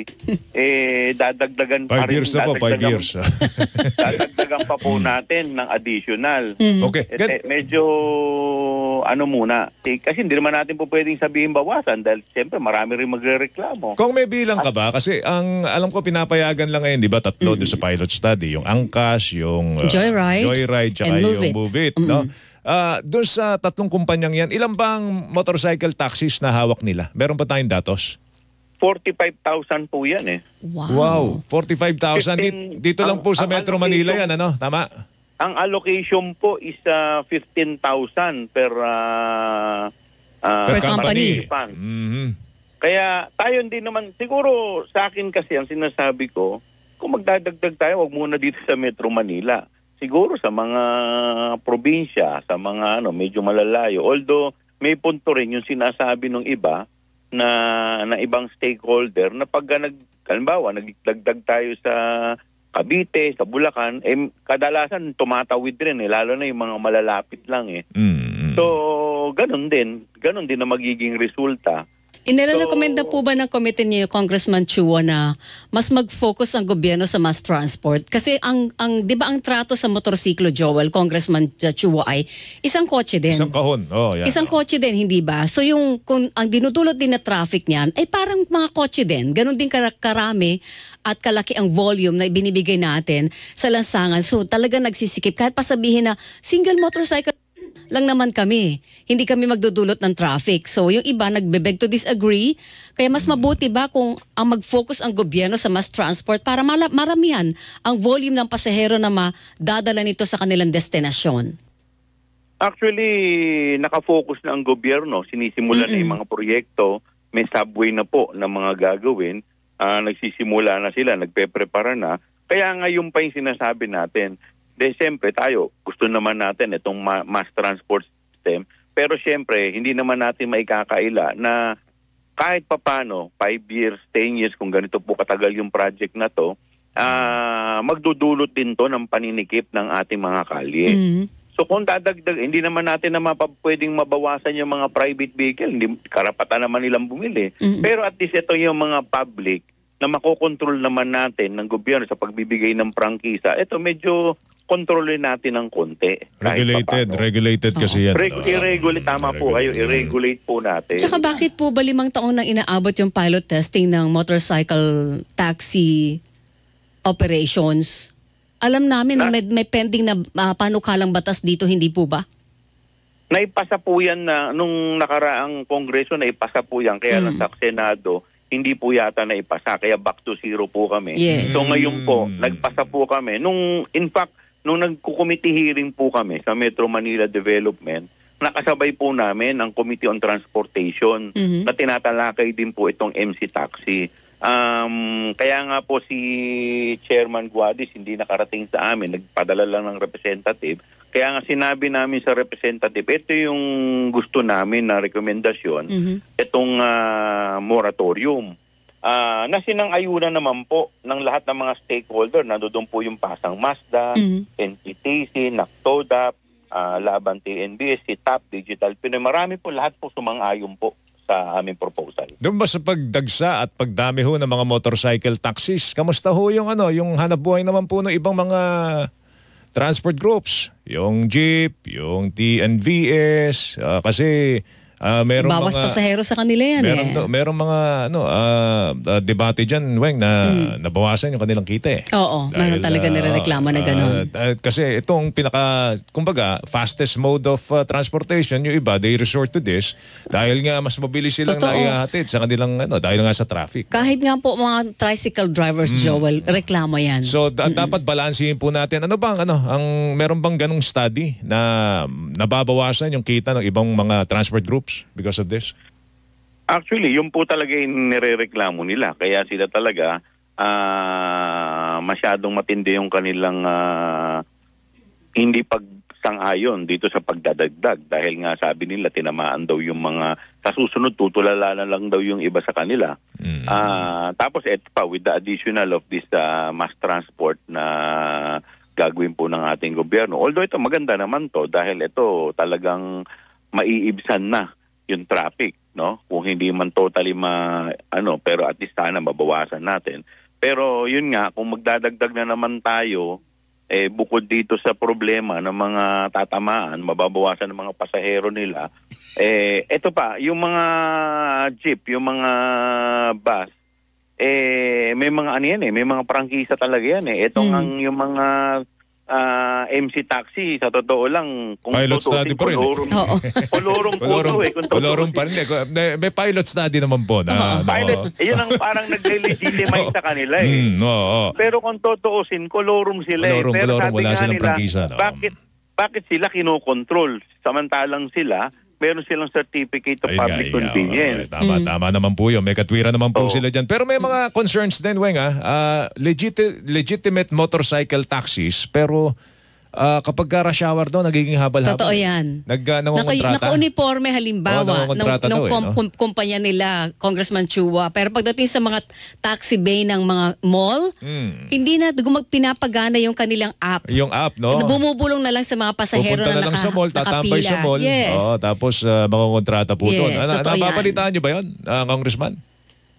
Eh, meron na rin po nakapagsabi. Pero nung nagkukumiti hearing po kami, hindi naman po yan natalakay. Dahil lang talagang tinalakay po namin yung additional. Ah, yun nga, marami nga talagang tumututol dito. Kaya po bumagsak kami sa moratorium. Ah, actually, ako po ang ah, nag-suggest na magkaroon ng moratorium. Gawa nga ng nakikita ko talaga. Kasi may presenta pa po doon yung mga aksidente. So, medyo nakakatakot eh. Yung sa motor po kasi talaga, lalo pat hindi pa natin na ipapasa itong MC Taxi Law, eh medyo ano po ang laban ng mga riders, Ano ng po mga ang pasahero. ano po ang commitment na binigay ng ano ng LTFRB at ng Department of Transportation do sa request ninyo na moratorium? Meron ba silang balak na dagdagan? Kasi ang initial reports na natanggap namin, may mga 5,000 units pa raw na dapat idadagdag. no? Ah, meron ba silang ganong balak, ah, Congressman? Ang nakakalungkot nga po kasi nung kami nag-committee hearing, hindi po nakarating si Attorney Guadis. Ay. Kaya representante lang po yun nando doon at ah, ang sinasabi lang po sa amin, i-discuss daw nyo ito. I-discuss daw niya ito sa ah, board. So, siyempre medyo wala kaming konkretong commitment na natanggap. Pero sabi namin na sana ma-report sa amin and in fact, sabi namin sa kanila na gagawa kami ng sulat. Susulatan namin sila to make it formal. Mm. Na wag mo nang magdagdag ng Na mga units. muna. For, this, for our suggestion, for this Ah. moratorium. Pero halimbawa, ah, ah, Congressman, kaya nga in-entertain yung idea na magdagdag ng 5,000 kasi may malakas na demand. Hindi ba? Ibig sabihin, kulang yung supply natin ng transportasyon. Ano po ang pwedeng ipamalit kung hindi natin itutuloy ang 5,000 Ah, dagdag? totoo bang kulang nga ba, ah, Congressman? Well, hindi pa natin lumalabas sa study. Kaya lang Mhm. sinasabi po sinasabi po nung iba. Sa totoo lang, ang dami na po nating mass transport. May bus po tayo, may FX tayo, may MC taxi tayo, may jeep tayo. Yung jeep nga natin, dalawang klase pa eh. Yung tinatawag natin ngayon, sino inaano ng gobyerno ngayon, yung pinopromote ngayon ng gobyerno, tsaka yung mga lumang jeep, may taxi pa po tayo. Eh yung mga habal-habal pa po talaga, yung mga padjak. So, sa totoo lang, sobrang dami na rin po. Eh, ang kalye naman po natin, hindi naman po lumalapad. Paliit nga po ng paliit eh. Exactly, Kasi paliit ang paliit. nadadagdagan ng lane eh. Totoo. Weng, may bike lane, merong Totoo ah, yan. May motorcycle lane ka Motorcycle pa. lane. Gusto pa nga ng mga tricycle dra- ano, organizations, Congressman Chua, magkaroon ng sariling mot- tricycle lane. Saan nalagay yun? Sa mga highway. Saan lalagay? In Diba? fact, in fact Joel, Hmm. Ma'am Weng, ah, lahat po ng klase ng ah, solusyon ginagawa na po natin. Nakapag-isip po sila ng ah, color coding. Mhm. Tapos at even. Tapos ngayon bus lane para lang masolusyonan tong traffic.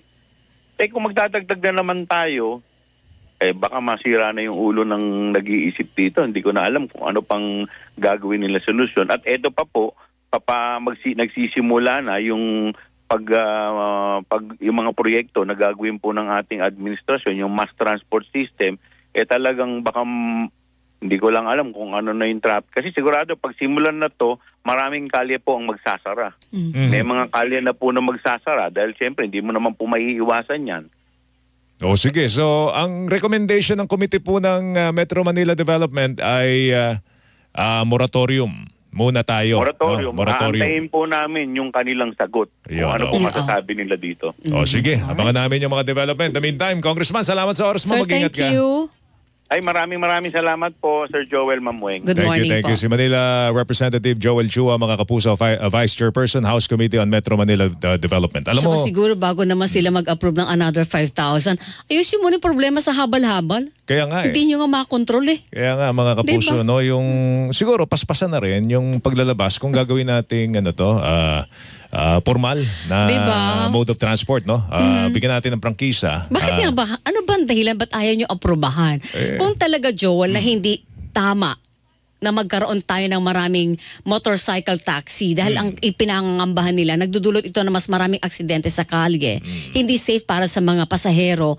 Ay di, ibasura nyo po ng tuluyan yung panukalang batas. Kaya nga, Tapos tan- desisyonan yun with finality, itutuloy pa ba yung project o hindi?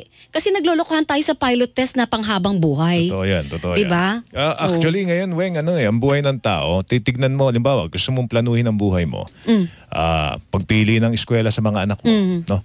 Titignan mo yung, ano ba, malayo ba sa amin to? Totoo yan. Kasi ano yung mode of transportation para sa kanya? ah, Weng, ano eh, primary Oo. consideration. Mm-mm. Pero mo yung anak, eh, si Yisi nga, ah, namumroblema ako sa kung dadalhin eh. Dahil Kung may school? gusto ko eskwela, layo, layo naman naman sa amin. Pero within Quezon City ah. Oo. Within Quezon City. Weng, Dadaan ka sa traffic. dadaanan mo Ah, yes, traffic. So, isa sa mga bata. consideration mo, pagigisingin mo yung anak mo ng maaga. Oo. Mapapagod, mapupuyat, di ba? Ma- At a very young age. At a very Oh, young Buti sana age. kung may laban na katawan niya. Meron akong kaibigan, ah, taga Fairview siya tapos yung kanyang anak ay nas tag, sa UST nag-aaral, Oh, no? layo. So sabi niya, ah, baka pwedeng kumuha ka na lang ng ano ng ah, dorm. Diyan ka na lang sa ano. Oh, eh, kaya Mm. lang sabi ng anak niya, gusto ko umuwi araw-araw eh. Oh, diba? so ang anak niya ginagawa, nag-aangkas weng. Ay, delikado. Ilang taon yan? Di sabi nung mga magulang, nung Oo. mga kaibigan ko, eh kada araw eh ang, Oh, parang ang yung stress post- namin, di ba? Totoo yan, Joel. Oo, Totoo di ba? yan. Ah, kailan anong oras uuwi ang anak ko tapos ligtas bang makakauwi? O tapos pag babae yung anak mo, kahit pa nakadesenteng damit yan, pag bastos ang driver ng... di ba? Wala ka talaga, di ba? Yun ang takot ng mga magulang. Consideration Oo, traffic mga totoo kapuso, yan. proximity sa bahay. Kaya nga dapat ah, pilit natin sinusolusyonan itong problema ho natin sa traffic. Tapos ngayon magdadagdag pa tayo ng Oo. panpasikip sa traffic. diba? Tapos kung makabara-bara sa iyo yung mga motor, di ba? Eh, pambira ang Silang buhay walang, to. kara- wala da silang, ano, hindi sila dapat nata traffic. Talaga naman. Oo, oo. kasi marunong sila anak sila, sumingit. Anak sila ng Ah, Diyos. totoo yan. Stabay mga kapuso, magbibigay daanan tayo sa ilang mga paalala. Oras po natin, alas 8.21. Radyo na. TV pa, Kortesiya na. disiplina pa.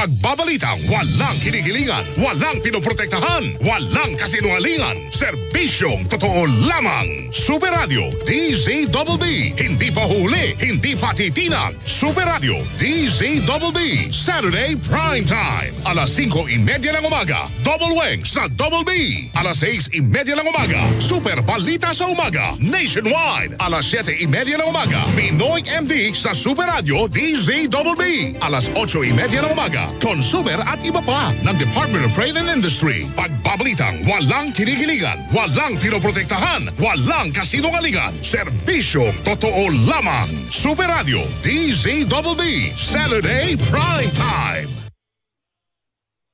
Lahat ba tayo may kalayaang umibig? Lalo na kung ito ay sa pagitan ng isang lalaki at transgender. Ano ba talagang pangarap mo? Hindi ano, sino. Mahal mo ba talaga tong kapatid ko? Higit pa ako sa buhay ko. Freedom to love.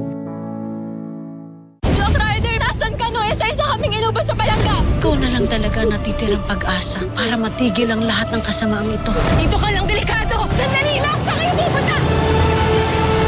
Black Rider, 9.40pm sa GTV. Wrong place at the wrong time? Not for our hero. Jackie Chan is The Accidental Spy. Friday, 8 p.m. on G-Flix. On GTV. Patuloy ang pag-init at pagtindi ng inyong pagmamahal. Kaya number one AM station ang Super Radio DZBB at number one FM station ang Barangay LS. GMA Radio is still number one. Maraming salamat mga kapuso. You're watching Double B TV on GTV.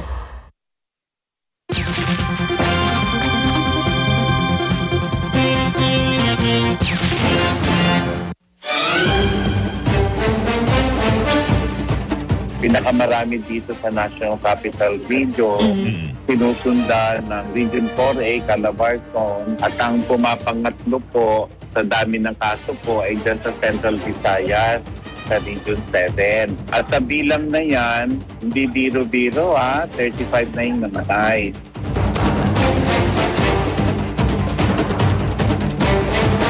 Isa ito sa mga vaccine preventable diseases. So kung hindi bakunado yung baby, ah malamang sa hindi, maaari siyang mahawa at ah, magkakaroon nga ng diphtheria.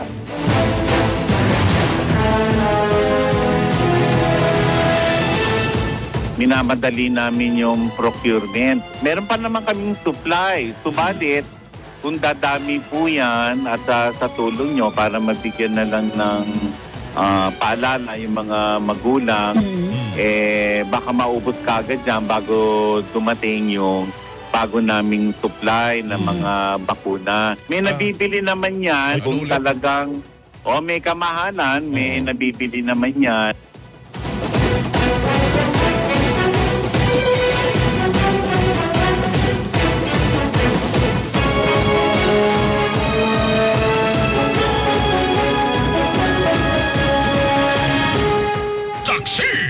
Saksi sa Double B! Narito muna ang DCWB bagong-bagong mga balita. Iba't ibang ahensya ng gobyerno magpupulong ngayong araw para paghandaan ang darating na Semana Santa. Isang mambabatas na nawagan na magpatupad ng moratorium sa pagpapalawak ng operasyon ng mga motorcycle taxi para maiwasan ang lalong pagbibigat ng daloy ng trapiko sa Metro Manila. Mahigit sa 6,000 iligal na koneksyon sa kuryente na diskubre sa mga linya ng Central Negros Electric Cooperative. Biyuda ni dating Negros Oriental Governor Roel De Gamo umaasa na mapapauwi ng bansa at mapapaharap sa batas si dating Negros Oriental Congressman Arnolfo Teves Jr. matapos arestuhin sa Timor-Leste. Hindi bababa sa 600 pamilya apektado ng sunog sa Aroma Temporary Housing dyan naman sa Tondo, Maynila. Super Radio DZBB. Bantay. Biyahe. Puntaan natin ang report ni Manny Vargas. Seguridad sa Manila North Port mahigpit na pero mga pasahero hindi para po dagsa sa ngayon. Manny Vargas. Maluwag pa rin nga at kakaunti pa lamang ang mga paserong pauwi ng mga lalawigan at sasakay ng mga roro dito sa bahagi ng Manila North Port. Sa kabila nito, todo bantay na ang mga otoridad na nakatalagang magbantay sa pantalan. Ngayong araw ay may tatlong paalis na barko sa North Harbor. Ang unang aalis ngayong umaga ay ang MV St. Teresa of Child Jesus na patungong Cebu at Butuan. Susundan ito ng MV Masikap na papuntang Cagayan de Oro at mamayang gabi naman maglalayag pakoron sa Palawan ang MV St. Francis Xavier. Ang St. Francis Xavier din ang barkong dadao ngayong umaga dito sa North Port mula Cebu Tagbilaran. Sakay dito ang nasa tatlong daan na tatlumpung mga pasahero. Ako si Manny Vargas ng GMA Super Radio DCWB. Dapat totoo. Saksi sa Double B! Super Radio DZBB. Bantay. Biyahe. Marami na tayong mga text messages na natanggap dito tungkol sa motorcycle taxi. Bigyan naman po ng pansin kaming mga taxi. Mm-mm. Yung mga regular Diba, taxi. Yes. no? Sa totoo lang, ang Oh. dami yung Joel na hindi Sa pumapasada na. totoo lang, oh, dahil Nasa nalugi na nga sila. Oo, eh. totoo nalugi yan. na sila. Mm-mm. Nandyan ang TNBS, Correct. tapos dumating pa motorcycle taxi. Diba? nalugi na sila. Ah, limang libong motorcycle taxi, wala na po Mm. kami na Diba? maiuwing kita sa aming pamilya. Sana meron daw nagsasalita sa panig nila. No? Totoo yan. Sabi naman ni retired General Edgar Arevalo, Hmm. sabi niya, um, grabe na ang gulo sa kalsada these days. Congested na nga, four-wheel vehicles, kabi-kabila, sumisiksik yung mga motorsiklo, Hmm. kahit napakasikip na. At kung magdadrive ka ng kotse, hindi mo malaman kung papaanong iwas ang gagawin mo para hindi ka makadisgrasya o masagasaan. Oh, eh, ah, ang hirap diyan pagka na-disgrasya mo yung motorsiklo. 'di ba? Ikaw pa. Kasalanan mo. Nakita mo yung ano, yung nag-head on sa NLEX, 'di ba? Sinalubong siya ng motor. Nakulong pa yung mama, wala naman siyang ginagawang At yung pamilya pa, nung nag, maling motor, motorcycle Oo. rider, ang nagsabi, hindi na po kami magsasampa ng kaso. Kaso, kita mo yun. Bakit no? hindi yun ayusin ng mga mambabatas Mukhang natin? kinakailangan natin ayusin yan. Diba? no? Wala Hindi namang... ko makuha yung lohika na pag mali ka sakali at ikaw ang lumabag kahit anong sasakyan mo, mali ka. Mm-mm. Eh, siya pa nakulong. Wala namang Di- kinalaman yung tao. Biro mo yung... Pakitama nga po yung mga congressman at Baka pwede senador. natin ayusin yan. Oo. Ha? Kinakailangan daw makulong eh dahil may namatay eh. Kahit Ay, head on, Mario. siya ang bumangga sa'yo. ano ba? Sitwasyon sa ilang terminal ng bus sa EDSA Cubao. Alamin natin ang balita ng malaki Alan Gatos. Alan, pasok. Super Radio DZBB. Bantay. Biyahe. Pasok. Sa mga oras nga na ito ay kakaunti pa yung bilang ng mga pasahero na nagpupunta sa ilang mga terminal na matatagpuan dito sa bahagi ng EDSA Cubao. At ayon dun sa pakipag-ugnayan natin sa ilang mga dispatcher, hindi pa nila inaasahan sa mga oras na ito na darating yung uh, mga pasahero. Pero asahan daw yan mamayang hapon hanggang gabi na posibleng mas marami na yung bilang ng mga pasahero. Pero naghahanda na sila sakali na kapag ngayong weekend ay dadagsa yung uh, mga pasahero na maggustong mauna sa pag-uwi sa mga probinsya para sa Semana Santa. Ako si Alan Gatos ng GMA sa Radyo TCWB. Dapat totoo. Super Radio DZBB. Bantay. Biyahe. Alright, nasa linya na natin si Ginong Augusto Ferreira. Ah, Siya po ang ah, Pangulo po ng Automobile Association of the Philippines. Sir uh, August, kamusta ka na? Good morning, si Joel Siweng. Magandang umaga Good sa inyo morning lahat. Jo- John na lang, mahirap yung August. Parang buwan eh. Oy, pero classic ang pangalan niyo, sir, ah, Ah, Augustus. Augustus, ah, parang ano, parang, parang- pang Roman Empire. Yun, oo. Pag, Oo nga, ah, pero mukhang parang Pilipino emperor eh. Kahit anong iba pangalan. Sergio. Sergio. Sergio. Ano yun, yun? Oo, eh, may moratorium, may panawagan ng moratorium doon sa mga motorcycle taxi. Ang Oo. sinasabi naman ng iba, kulang pa nga tayo eh. Kaya gusto Correct, nating oo, dagdagan yan. Ano bang ano, anong pananaw ng Automotive uh, Kasi Association ang- of the Philippines? yan? Tinignan ko nga yung panukala nila na yung lagyan ng moratorium. Ano, Kasi merong may House Bill ngayon na pending sa Kongreso na gusto nilang iayusin yung mga motorcycle taxi na yan by using a franchise system ano para magkaroon ng order no so kung titingnan mo ano ba talaga ang problema ang problema nila traffic so ang susunod na tanong diyan eh yung mga motorsiklo ba ay nagkokos ng traffic kasi kung titingnan mo yung House Bill, binanggit din noon na kailangan ng alternatibo at galing din sa opisina ng presidente ng Pilipinas, no? Kailangan ng alternatibong transport system kasi alam naman natin lahat, wala tayong mass transport sa Metro Manila. Pangalawa, ang cost ng traffic, yung dami ng sasakyan. Hindi ibig sabihin dami ng motorsiklo, ha? Kasi ang sasakyan, yung auto, SUV, bus, truck, pick-up, eh yung kalsada talaga natin, ang kapasidad niyan, hindi kaya ng ganung karami. Kaya mapapansin mo, may panahon na magaan yung traffic, may panahon naman na sobra ang traffic na hindi na gumagalaw. Volume ang problema, no? Hindi niyo ba sinasama, Sergio, sa ano sa sasakyan, yung word na sasakyan, yung motorsiklo? Oo, kasi yung motorsiklo, kung titingnan mo kahit sa ibang bansa, that is a more convenient and faster way by which you transport. Ang issue dyan, transporting people. Galing ka sa bahay, papasok ka sa opisina. Ang tanong ko sa kanila eh, ano ba pinakamabilis? Sa ordinaryong tao, ah. Yung ordinaryong tao, wala Motorsiklo, sasakyan. Eh, syempre. di ba, Motorsiklo. oo, Kasi nakakasingit sa pagipagitan yan. Yung Medyo issue- may issue lang sa motorsiklo Safety. dahil sa disiplina. Mhm. Di ba? Yes. Mm. Pero Yung issue po na safety. Safety, issue rin yan. Oo, yung ano yan, ano yan? Safety, safety, uh, Sergio. Oo, safety. Oo, pero kung ang safety, ang para ma-manage mo yan, ibaba mo yung speed. Mhm. Oo, Kaso yung hindi mga natin... sa motorsiklo, yun yung overspeeding, mga lasing kung magmaneho, you know, walang gamit na helmet, yun yung talagang fatal yun pag na-aksidente ang motor. Yung mga bus, nalagyan yan ano eh, pang control, hindi po ba? Mayroong speed limiter. May batas No. tungkol doon eh. Sa motorsiklo ba pwedeng lagyan ng speed limiter? Lalo na po kung pang transport, pang public transport. Yes. Pwede po Kaya yun. nga, dun sa House Bill na pinopropose nila ni Congressman Busita, no? Eh, pag ni ginawa mong prangkisa yan, may requirement yung prangkisa para mapasok ka doon, ano? Mhm. So siguro pwede nilang gawin doon, dapat grupo kayo para mabigyan kayo ng prangkisa. Yung grupo binibigyan, hindi isa-isa. Parang Pangalawa, kooperatiba din po.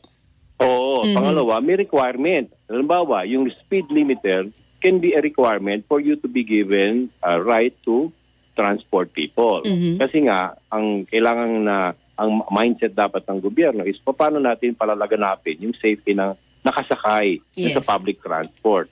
So lowering speed, pinag-aralan na yan ng kung sino-sino magagaling na tao.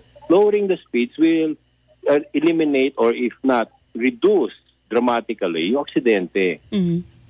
May sabi, kasabihan nga, di ba, speed kills eh. Totoo yan. The speed that thrills is the speed that kills. So, bababa lang natin yan. Okay. Sergio, doon sa mga binanggit mo na, ang dating sa amin, eh, okay ka sa moratorium pero hindi sa motorsiklo. Tama ba? Ah, okay ako sa moratorium. Hindi ako okay sa moratorium. Ah, okay. Kasi mababawasan yung ano eh, yung mga oportunidad na makasakay ang tao para mas mabilis. Ang ang sa akin, it has to be made safe. Ayun, hindi ligtas lang. Sa, Ah. bi- igabigyan natin ng prangkisa, gawin natin, nakita ko nga dun sa House Bill na may requirement na pagkakasama ka dun sa motorcycle taxi, every year, kailangan mag-seminar ka. Every year, kailangan nagsiseminar ka. So, ibig sabihin nun, magtataas ang antas ng karunungan ng tao. There's, uh, may paano mag- continuing training sa kanila, ganun. Correct. Mm. Correct. Yun ang kulang sa mga salbahe na sinasabi nga, tawag nila mga kamote driver. Yun ang kulang sa kanila eh. Kaalaman kung paano. Kasi ang enforcement, you know, I, I went to one particular country, sabi ko sa kanila, ang linis ng bayan ninyo, bakit? Mataas pa fine dito? Sabi nila, at saka enforcement, hindi. We decided as a country that we will discipline ourselves in cleanliness. So hindi kailangan ng batas, kundi ang problema natin sa trapiko, yung ugali ng tao, gustong mauna lagi. Totoo nakapakasingit yan. eh. Mm-mm. Ah, yung singit mentality, doon tayo nagkakabuhol-buhol eh. Eh, ang problema, Sir Joe, ano eh, yan ang mentalidad ng, hindi si lahat, pero marami sa mga nagmomotor. Kasi nga, ang mindset nila, maliit ako, kaya kong sumingit.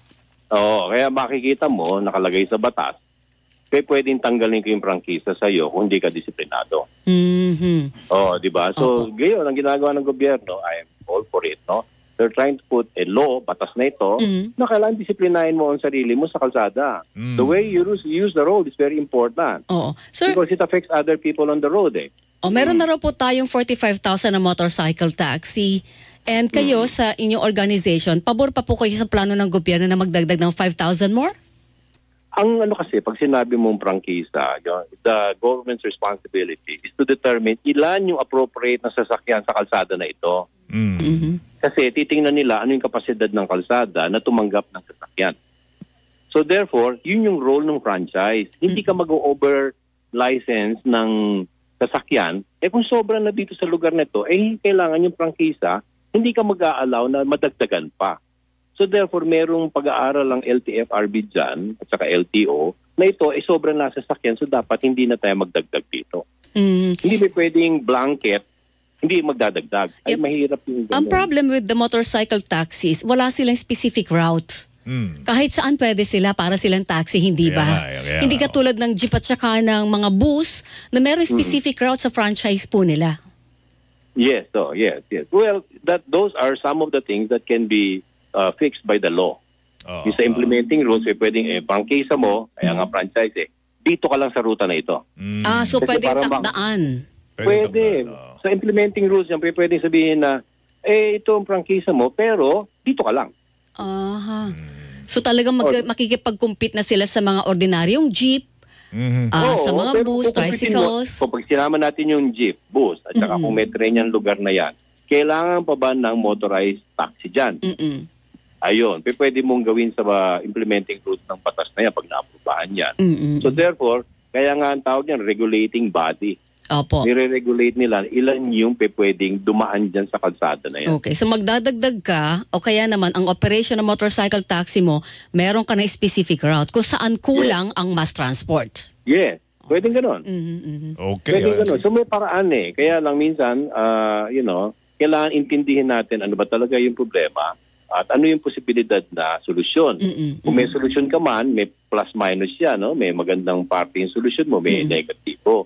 So y- kailangan gumawa ka ng solusyon na yung negative part of the law can be mitigated by implementing rules. Alright. Sir Joe, malaki may tutulong na mga impormasyon binahagi mo sa amin Sir, ah, thank sa you. paghubog ng batas, no? Ah, So, hanggang kasi ngayon, lahat tayo nasa... nasusuya sa traffic eh, di ba? Oo naman, nako oo. naman. Sobra. Diyos me, talaga naman. Late ka na sa meeting mo. Sabi ko, hindi ako aabot sa meeting mo. Ang solusyon dyan, sinasabi ko sa karamihan, Hmm. umalis ka ng mas maaga. Totoo naman Huwag mong isipin na isang oras pa lang, yung Mhm. panahon ng pandemya, isang oras pa lang nasa opisina ka na. Naku. Hindi na po, wala na po yun. Gawin Totoo yung isang oras. Mas at malala kalahati na po ngayon, pre-pandemic, ang ating sitwasyon sa traffic. Mas Totoo malala yan. na ngayon. Correct. Sir Tama Joe, yan. salamat. Bumalik na. Mag-ingat Yung ka. traffic. Thank you, ah. Sir, thank you. Morning. Maraming salamat. Bye-bye. Bye. Si Ginoong Augustus Joe Ferreria. Siya po ang pang- ah, Pangulo ng Automobile Association of the Philippines, mga kapuso. Ayun. Yan. Ah, sabi niya, maaayos naman daw ng batas, pero Pero iba nga kasi ang Wag daw, ano ang, ang ah. regulasyon at takbo at operasyon ng para na motorcycle taxi, parang taxi yan wala nga ruta eh. ah, siguro si Diba? Sir Joe nagmumotor yan. wala. Ano, may hilig na magmotor si Sir. Yeah, parang si Parang- Romel Seba. Sandali mga kapuso, oh. Ah, ang dami ng naku, ang daming ah, nagsasabi rito na ano, talagang pampasikip daw ng traffic ang ano, ang ah, motorsiklo. Bakit yung mga kotse hindi ba mapasikip ng traffic? Mm-hmm. Ay hindi, sabi nga ni Joma eh, Ah. dami ng kotse ang cause ng traffic. Yun. Pero sa totoo lang, malaki talaga ang Actually, ano, malaki, yes, yung Lahat- mga lahat sila. private Oo. vehicles ang pinakamarami sa mga highways natin. Totoo yun, Tama, Joel. tama. Alright. Kasi nga ah, naman, pag nag-offer naman ng mga kumpanya ng kotse ngayon, zero deposit. Ay, Kaya- down payment. Deposit Oo, tuloy. Zero, down, payment. Oo, talagang Oh. tapos ah, after 3 months, hindi ka makabayad, atake na. Pirma ka ng kontrata, uwi mo na kotse mo. Ganon. Oo. oh, parang patibong ang dating eh, di ba? Ganun ang dating eh, no? Kasi pag magbabayad ka na, ang laki na ng patong, di ba? Kasi yung presyo, paano Lalo na pagka kumuha ka ng kotse, in-house financing, hindi mo kinuha sa bangko. Kasi Oo. med- medyo yung iba, nahihirapan magpa-approve ng, ano, ng Oo. uh, loan sa bangko. So, dirating in-house na sa lang. in-house, and Oo. in-house, on- mas malaki ang ano, Inter- interest. na ganun ba yun? Ay, mas malaki interest ng in-house kasi mas madali kang bigyan Oo. ng loan sa in-house. So, Totoo yan. ah, baka patibong, no? Kasi Mm. iba, na, ano lang, nadadala, uy, nakakuha ko malaking bonus. Pwede eh, na. pan-down ako ng Oo, kotse. kotse, okay na. Pero hindi mo intindi, meron Yung kang monthly maintenance mo. niyan, may monthly ka, Diyos ko. At May tataas pang- ang patas ang gasolina. gasolina ka pa. No? yes. So, mga considerations po yan. At sa pag wala pagbili kang ng ating parking, hatak ka ng sasakyan, hatak. ah. Oras dati mga kapuso, alas 8.41. Radyo na! TV pa. Kortesiya na. Disiplina pa.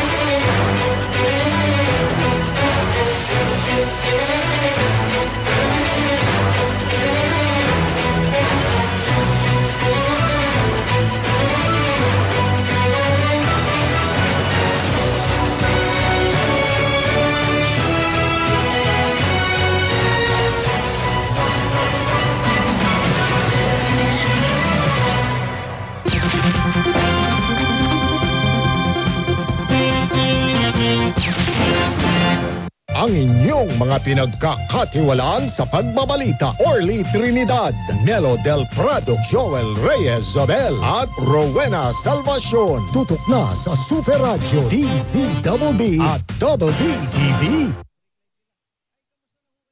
Canada, get ready for the biggest sparkle experience. Featuring today's brightest and sparkles best. Sparkle World Tour 2024, Canada. April 5 in Calgary and April 7 in Toronto. See you there. Niloko niyo ako! Sinabi niyo sa akin na hindi mawawala yung anak ko! Kung pipiliin mong mamatay, wala ka ng pagkakataon para makasama si Angela. Love, Die, Repeat the last four nights. Sigahan mo ko? Pwede mong ikaw? Feel the kilig with Ken and Rita. Mahal kita. Ano? Mahal din kita. Huling ulan sa Tag-Araw. Sunday 12 noon on GTV. Her story will be made. New heroes will rise. NCAA Season 99 Women's Volleyball. This April on GTV.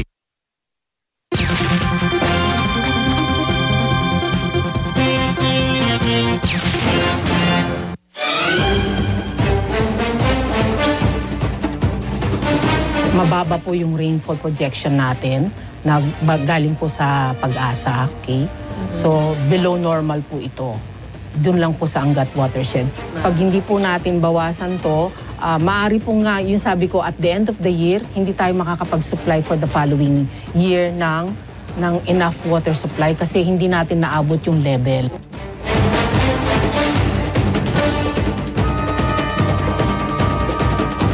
Hindi po mawawalan po ng tubig yung ating po mga customers. So babaw- babawasan lamang po natin yung lakas o pressure po ng tubig. Estratehiya po natin para po i-manage po yung ah, tubig na nanggagaling sa Angat Dam. Ito yung mga oras, Maris, ano, na alas 10 ng gabi hanggang alas 4 po ng umaga na kung saan po no, ay ah, may hina po no, yung ah, utilization.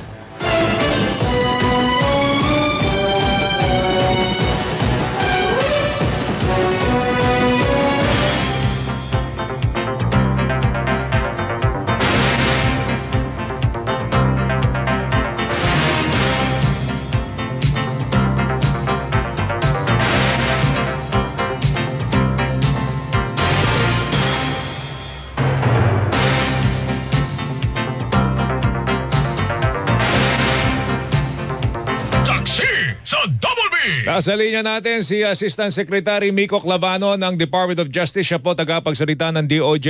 ASEC, magandang uh, umaga si Joel Siweng. Live po kay Super Radio DCWG TV. Good morning po. Magandang umaga po, Sir Joel Mamweng. Maraming salamat po. Opo, salamat sa pagtanggap sa aming imbitasyon. Ah, nahuli na po si Congressman Teves sa ah, Timor-Leste. Ano po ang ano, ano pong mga Susunod na susunod na hakbang. ng DOJ? Well, ano po, no, um, sa ngayon, binavalidate na po ng lahat ng mga, ah, lahat po ng mga requirements at documents ni former Congressman Teves sa Timor-Leste.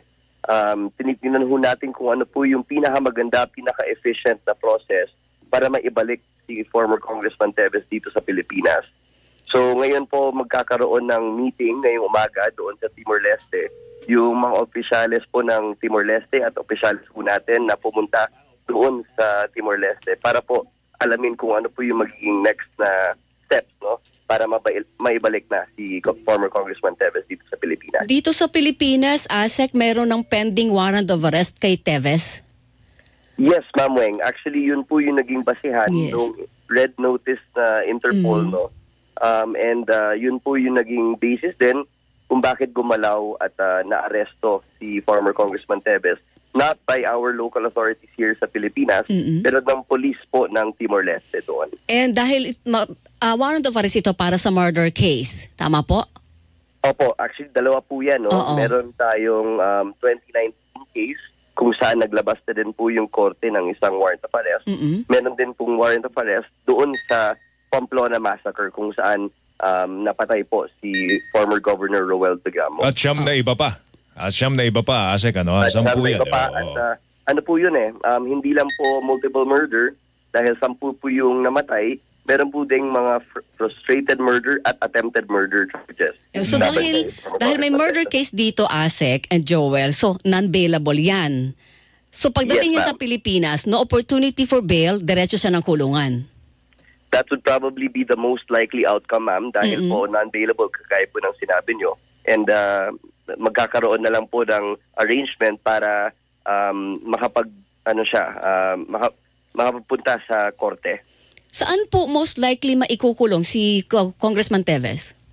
Well, that's something that is still being discussed right now, ma'am, no? Mm-mm. Um, pero uh, we are we are making sure po na yung safety and security po ng ating citizen na si former Congressman Tevez Mm-mm. is at the forefront at yun po yung uh, pinaka-priority po natin ngayon. Oo, kasi mahalaga po na mapanatili siyang ligtas at buhay not for Habang anything else nililitis but yung kanyang kaso. No? para mabigyan ng hustisya yung anumang inaakusa sa kanya na sinasabing pinapatay niya o nagawa niya ng mali. Tama po yun. Yun po yung magiging priority po natin ngayon na na arestado na po si former Congressman Tevez. Okay, yung kanyang pagiging dating kongresista will not matter in this case.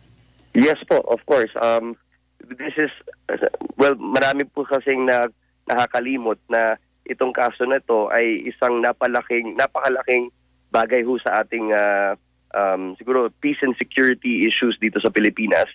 It was done in broad daylight. Sampu nga po yung namatay ah, doon po sa bahay mismo ni former Governor Roel Digamo kung saan nagbibigay po siya ng assistance sa kanyang mga constituent. Okay. So, yes, yes po. Asek, ano, ah, liwanagin ko lang, ang nakahuli sa kanya, sa kanya Interpol. Ah, tama ba? O yung pulis mismo ng ah, ah, ah, Timor-Leste?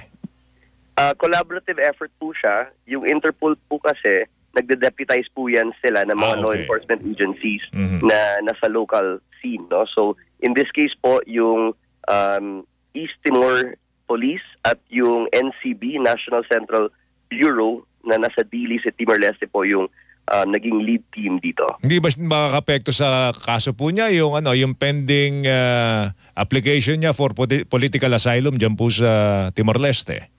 Uh, well, n- dininay na po yung initial request niya for asylum at na-deny na din po yung uh, motion for reconsideration niya. So, hindi na po yun problema sa sa Timor-Leste.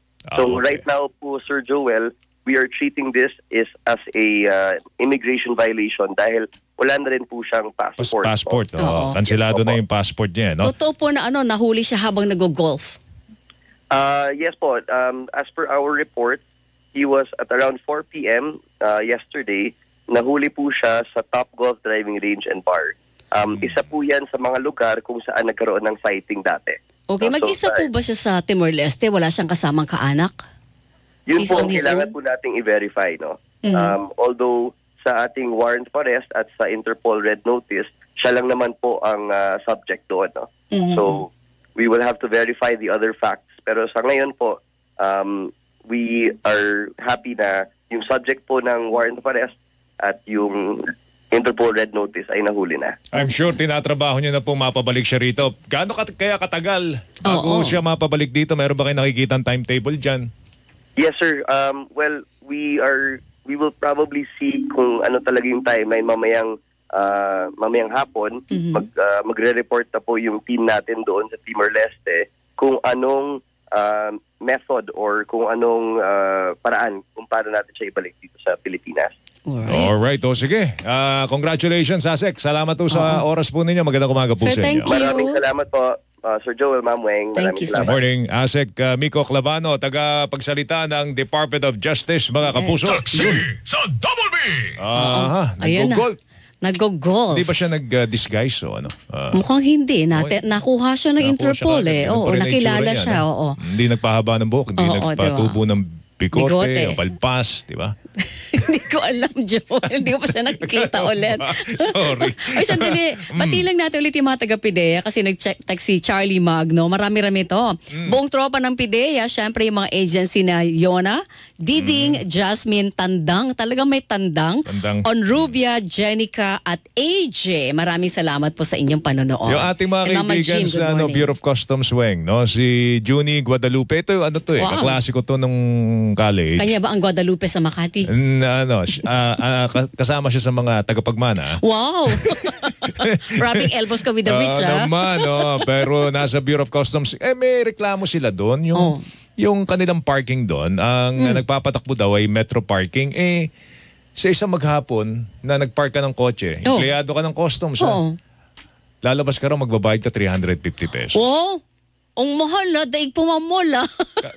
para, para nga silang nasa San Francisco. Di ba? Ang mahal po ng ah, parking po Hindi, pero rito. bakit pinapayagan ng Bureau of Customs na ganun katindi ang ano? Hindi ko alam. Pabayad sa kung parking. pag-aari kasi ng customs at pinapatakbo lang ng metro Oo. parking, baka naman pe- pwedeng ang ah, customs ay magkaroon ng ano, ng, ah, di ba, ng Hindi, tsaka ah, kung i- kasunduan. kung i- i- yung property. Pagka-empleyado mo naman. Oo naman. Pagka-empleyado, di ba? Subsidize nyo na tayo. Eh kasi, naman talaga. Pero, oh. eh, baka yung sweldo nila naubos lang sa Oo parking. Naman, eh, Di ba? everyday. Magkano sa isang buwan? Eh, par- tapos tinutukso mo yung mga tao na gumawa ng kalukuhan para Pambayad ng pambayad ng parking. parking. Kasi Anak kulang ng ang sweldo. oh. Metro parking. Ano ba yan? Ah, Commissioner Rubio, oh, pakiusap lang po Mahal ng po, mga ano. mahal. Oh, Mhm. pakiusap po ng inyong mga tauhan eh. Mhm. Baka pwedeng ma, ah, magkaroon daw ng ano, ng kasunduan. Wala nang pag yung ordinary employees, di ba? Kuwawa naman. Walang Diyos ko, pambayad. 350. Oo. Eh, parking pa lang, ubus na ang sweldo mo. Kay commissioner na lang kayo sumilang trip. Malaki sweldo ni commissioner. Standby mo, wag naman, wag Ah, naman. ganun ba? Ano, hindi Okay, naman, sige, hindi sige. naman patas yan. Ang oras natin mga kapuso, alas 11.53, radyo na. TV pa. Cortesia. Disiplina pa.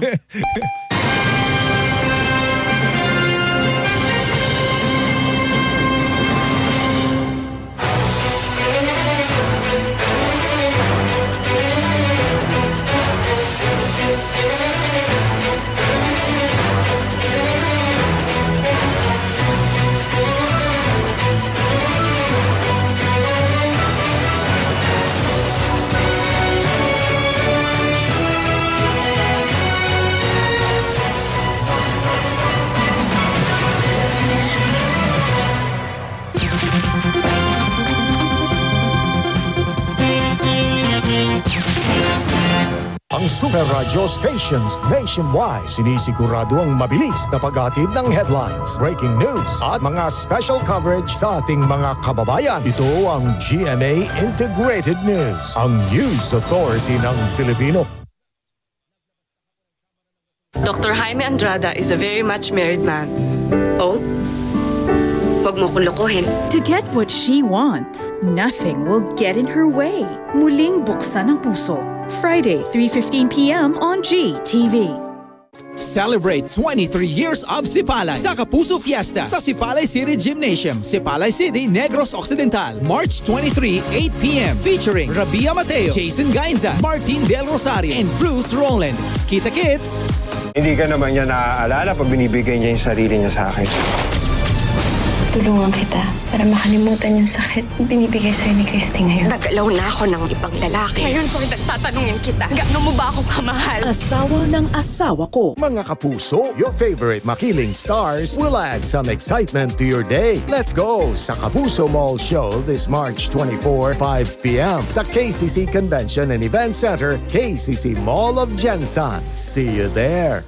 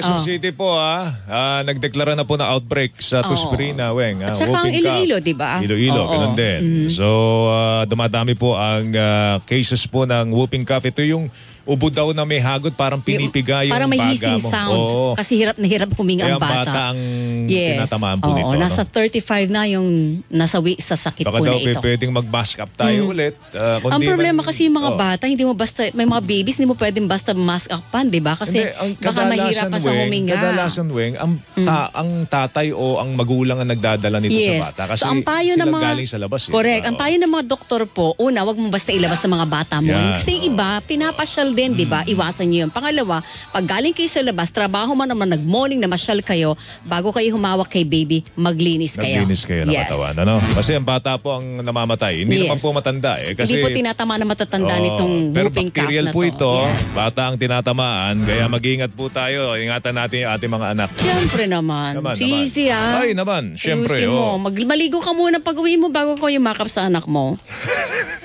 Hindi amoy, Joel. Bacteria ang pinag-iingat. Bacteria pa. Kailangan mabanguhin. No? Siyempre. Pagkamarap sa anak.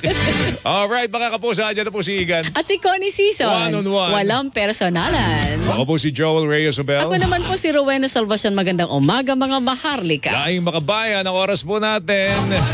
Alas 8.59. Radyo na. TV pa. Cortesia na. Disiplina pa.